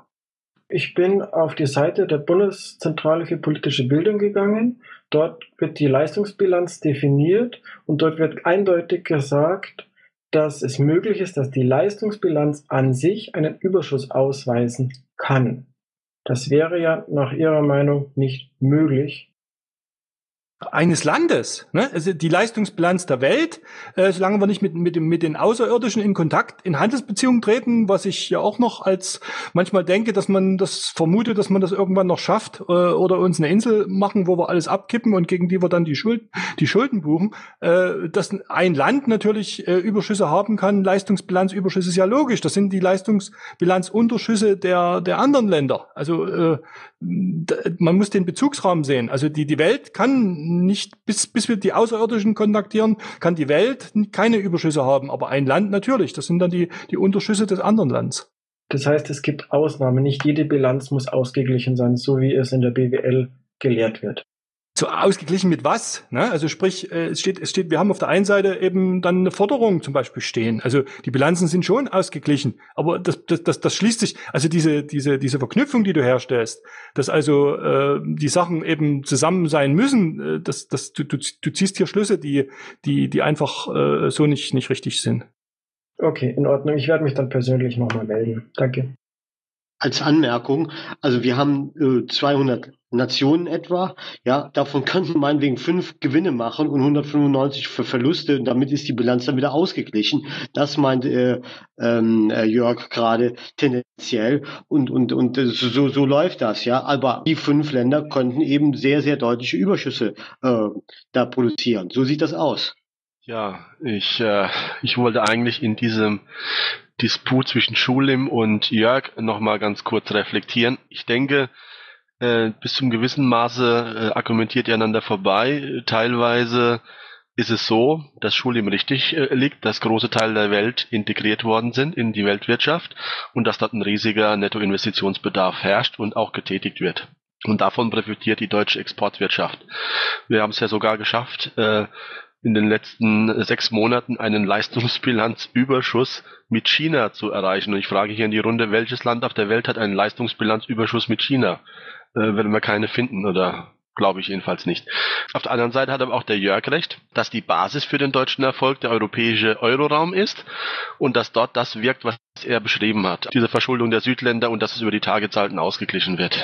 Das lässt äh, das Spiel auf einer größeren Ebene dann reflektieren, dass nämlich hier äh, ja strategische Konstellationen wirken. Deutschland ist in eine alte Position wieder hineingerückt nach dem äh, Fall der Mauer, die es äh, teilweise auch schon vor dem Zweiten Weltkrieg gehabt hat, nämlich der industrielle Kern Europas zu sein. Und es hat profitiert von den äh, Wertschöpfungsketten in Ostmitteleuropa, die nicht in dem Euro integriert waren, mit Tiefstlöhnen, also praktisch die, die, die Vorhöfe. Und die westeuropäischen Staaten haben als Absatzmärkte für Degressionsvorteile unserer Firmen gewirkt, die äh, Skalenerträge ermöglicht haben, dass wir auf den Weltmärkten äh, wettbewerbsfähig waren. Und dazu kommt noch die hohe Spezialisierung der deutschen Mittelstandsunternehmen, die ähm, diese Hidden Champions, äh, die sind natürlich nicht von Skalenerträgen, sondern von Spezialisierungserfolgen geprägt, deren Erfolge. Das bedeutet, äh, dass dass Deutschland bis zum gewissen Maße nicht solidarisch mit Europa agiert, sondern egoistisch. Und für England trifft es in einem anderen Sinne genauso zu. Bei denen sind es die Finanzprodukte und bei Deutschland ist es die Exportwirtschaft. Das ist ein ganz zentrales Problem, das wir gegenwärtig feststellen müssen und auch thematisieren müssen. Die Frau Merkel hat seit der Münchner Sicherheitskonferenz einen Vorschlag mit den Amerikanern unterbreitet, eine nordamerikanische Freihandelszone zu machen. Sie hat in Davos wenige Wochen vorher ganz klar gesagt, was sie will in Europa. Sie will den Druck aufrechterhalten auf die anderen Länder, dass diese nach deutschem Vorbild Agenda 2010 und so weiter umgestaltet werden sollen und ganz Europa einem Wettbewerbsprinzip unterworfen werden soll. Zusammen mit der EU-Kommission als ihr Bündnispartner. Beide Entwicklungen muss die Piratenpartei ganz kritisch reflektieren und thematisieren, nach meiner Meinung. Und ähm, Dazu kommen noch die Spannungen, die wir vorhin nicht vertieft diskutiert haben, auf dem weltweiten äh, Finanzsystem mit den Wechselkursen und den dortigen Problemen. Das alles wirkt zusammen, um überhaupt mal eine Einordnung vornehmen zu können. Insofern ist die Diskussion Schulim und Jörg teilweise aneinander vorbeigeführt, weil sie verschiedene Zeiträume und verschiedene geografische Räume irgendwie betrifft. Ich wollte da bloß versuchen, da vielleicht einen Zusammenhang herzustellen denke, ein wichtiger Dank ist natürlich auch nochmal zu sehen, China müsste man beraten, auch bezüglich Altersvorsorge. Die haben 50 Prozent Sparquote teilweise. Also sprich, äh, die, der Vorstellung, dass die Chinesen äh, quasi die Sparüberschüsse der westlichen Welt auflegen, die ist, die ist genau andersrum, ne? sondern die Chinesen brauchen für ihre gigantische Sparquote und für die Abschreibung, die sie demnächst aus ihren gigantischen Investitionen haben werden, die werden eher ein Belastungsfaktor werden. Und da wir eben große Industrienationen haben, die sich schon am, am Rande oder in der Deflation befinden oder am Rande einer Weltwirtschaftskrise wie Amerika, äh, die ja auch Riesenprobleme haben, sehe ich also überhaupt nicht, dass wir global äh, hier äh, Ausgleichsfaktoren haben. Und das ist tatsächlich, so wie du es auch beschreibst, der Wahnsinn an der Merkelschen Politik, dass die immer so tut, als würden demnächst noch Außerirdische auftauchen, die mit uns Schulden machen können. Wir haben diese Leute nicht. Und wenn wir in die Buchhaltung schauen würden und nicht, und nicht überlegen würden, äh, ähm, was wir denn fühlen und glauben, weil in der Welt investiert wird, wie die Sachen sind, wenn wir uns sagen, wir schauen uns mal die Buchhaltung an, schauen uns mal die, die chinesischen Zahlen an, schauen uns mal den ihre gigantischen Sparquoten an, schauen mal in die Realität und fabulieren nicht über, über, über Gefühle, dann äh, sieht die Sache ganz gruselig aus. Und, und dann sehen wir auch, wie, wie ernst diese Krise ist und wie schlimm die werden wird, wenn wir jetzt noch einen Wettbewerb der Nationen anheizen und und ich denke, dass der Heiner Flassbeck da eine sehr gute Adresse ist, der, der auch sehr viel dazu bringt äh, zu diesem zu diesem Thema. Ich sehe bei ihm nur, äh, ich sehe keinen Weg, äh, wie, wie, wie er davon ausgeht, dass er die deutschen Unternehmer in Zukunft stärker verschulden kann. Äh, dazu äh, sehe ich nicht den Ansatz nicht. Also dort müsste man ganz andere Wege noch gehen. Mit, mit höheren Körperschaftssteuersätzen ist das nicht zu machen. Damit werden eher die Investitionen einbrechen und, und eher das Geldvermögenssaldo der deutschen Unternehmen eher in die falsche Richtung gehen. Und, und äh, das ist eigentlich das Thema, dass wir dann wieder erpressbar sind und deswegen brauchen wir die Monetative, damit wir nicht mehr erpressbar sind, dass die Monetative als unabhängige Staatsgewalt unsere binnenwirtschaftliche und außenwirtschaftliche Stabilität darstellt, damit wir nicht mehr erpressbar sind. Wenn wir nicht mehr erpressbar sind, können wir vernünftige Politik machen. Jörg, ich sage immer, die äh, Demokratie die durch die französische und amerikanische Revolution ihren Ausgang genommen hat, ist unvollendet geblieben in dem Bereich des Geldsystems. Dort muss praktisch die Gewaltenteilung erweitert werden um ein Element, damit wir in einer Zukunft anders leben können, als dieses Geldsystem uns es zurzeit aufzwingt. Ganz genau. Ich habe eine Aufforderung an Jörg. Kommenden Donnerstag kommt der Herr Woschnewski mit dem Thema Feudalismus, wo es ja auch im Schwerpunkt um äh, interne Verwerfungen innerhalb einer Volkswirtschaft, Reiche werden reicher, Arme werden zahlreicher, geht. Meine Aufforderung ist, es wäre schön, wenn du auf deinem Blog hierfür eine Werbung einstellen tätest. Und das zweite ist, äh, und wenn du nächsten Donnerstag als Zuhörer dabei bist, das wäre das wäre eine tolle Sache. Ansonsten danke. Ja, Axel, also die mit der Werbung, das kann ich versprechen. Äh, ein guter Zuhörer bin ich nicht, aber eventuell mache ich es möglich. Du darfst auch Fragen stellen, Jörg. Ja, dann möchte ich von meiner Seite auch nochmal dem Jörg herzlich danken dafür, dass er sich der Podiumsdiskussion gestellt hat.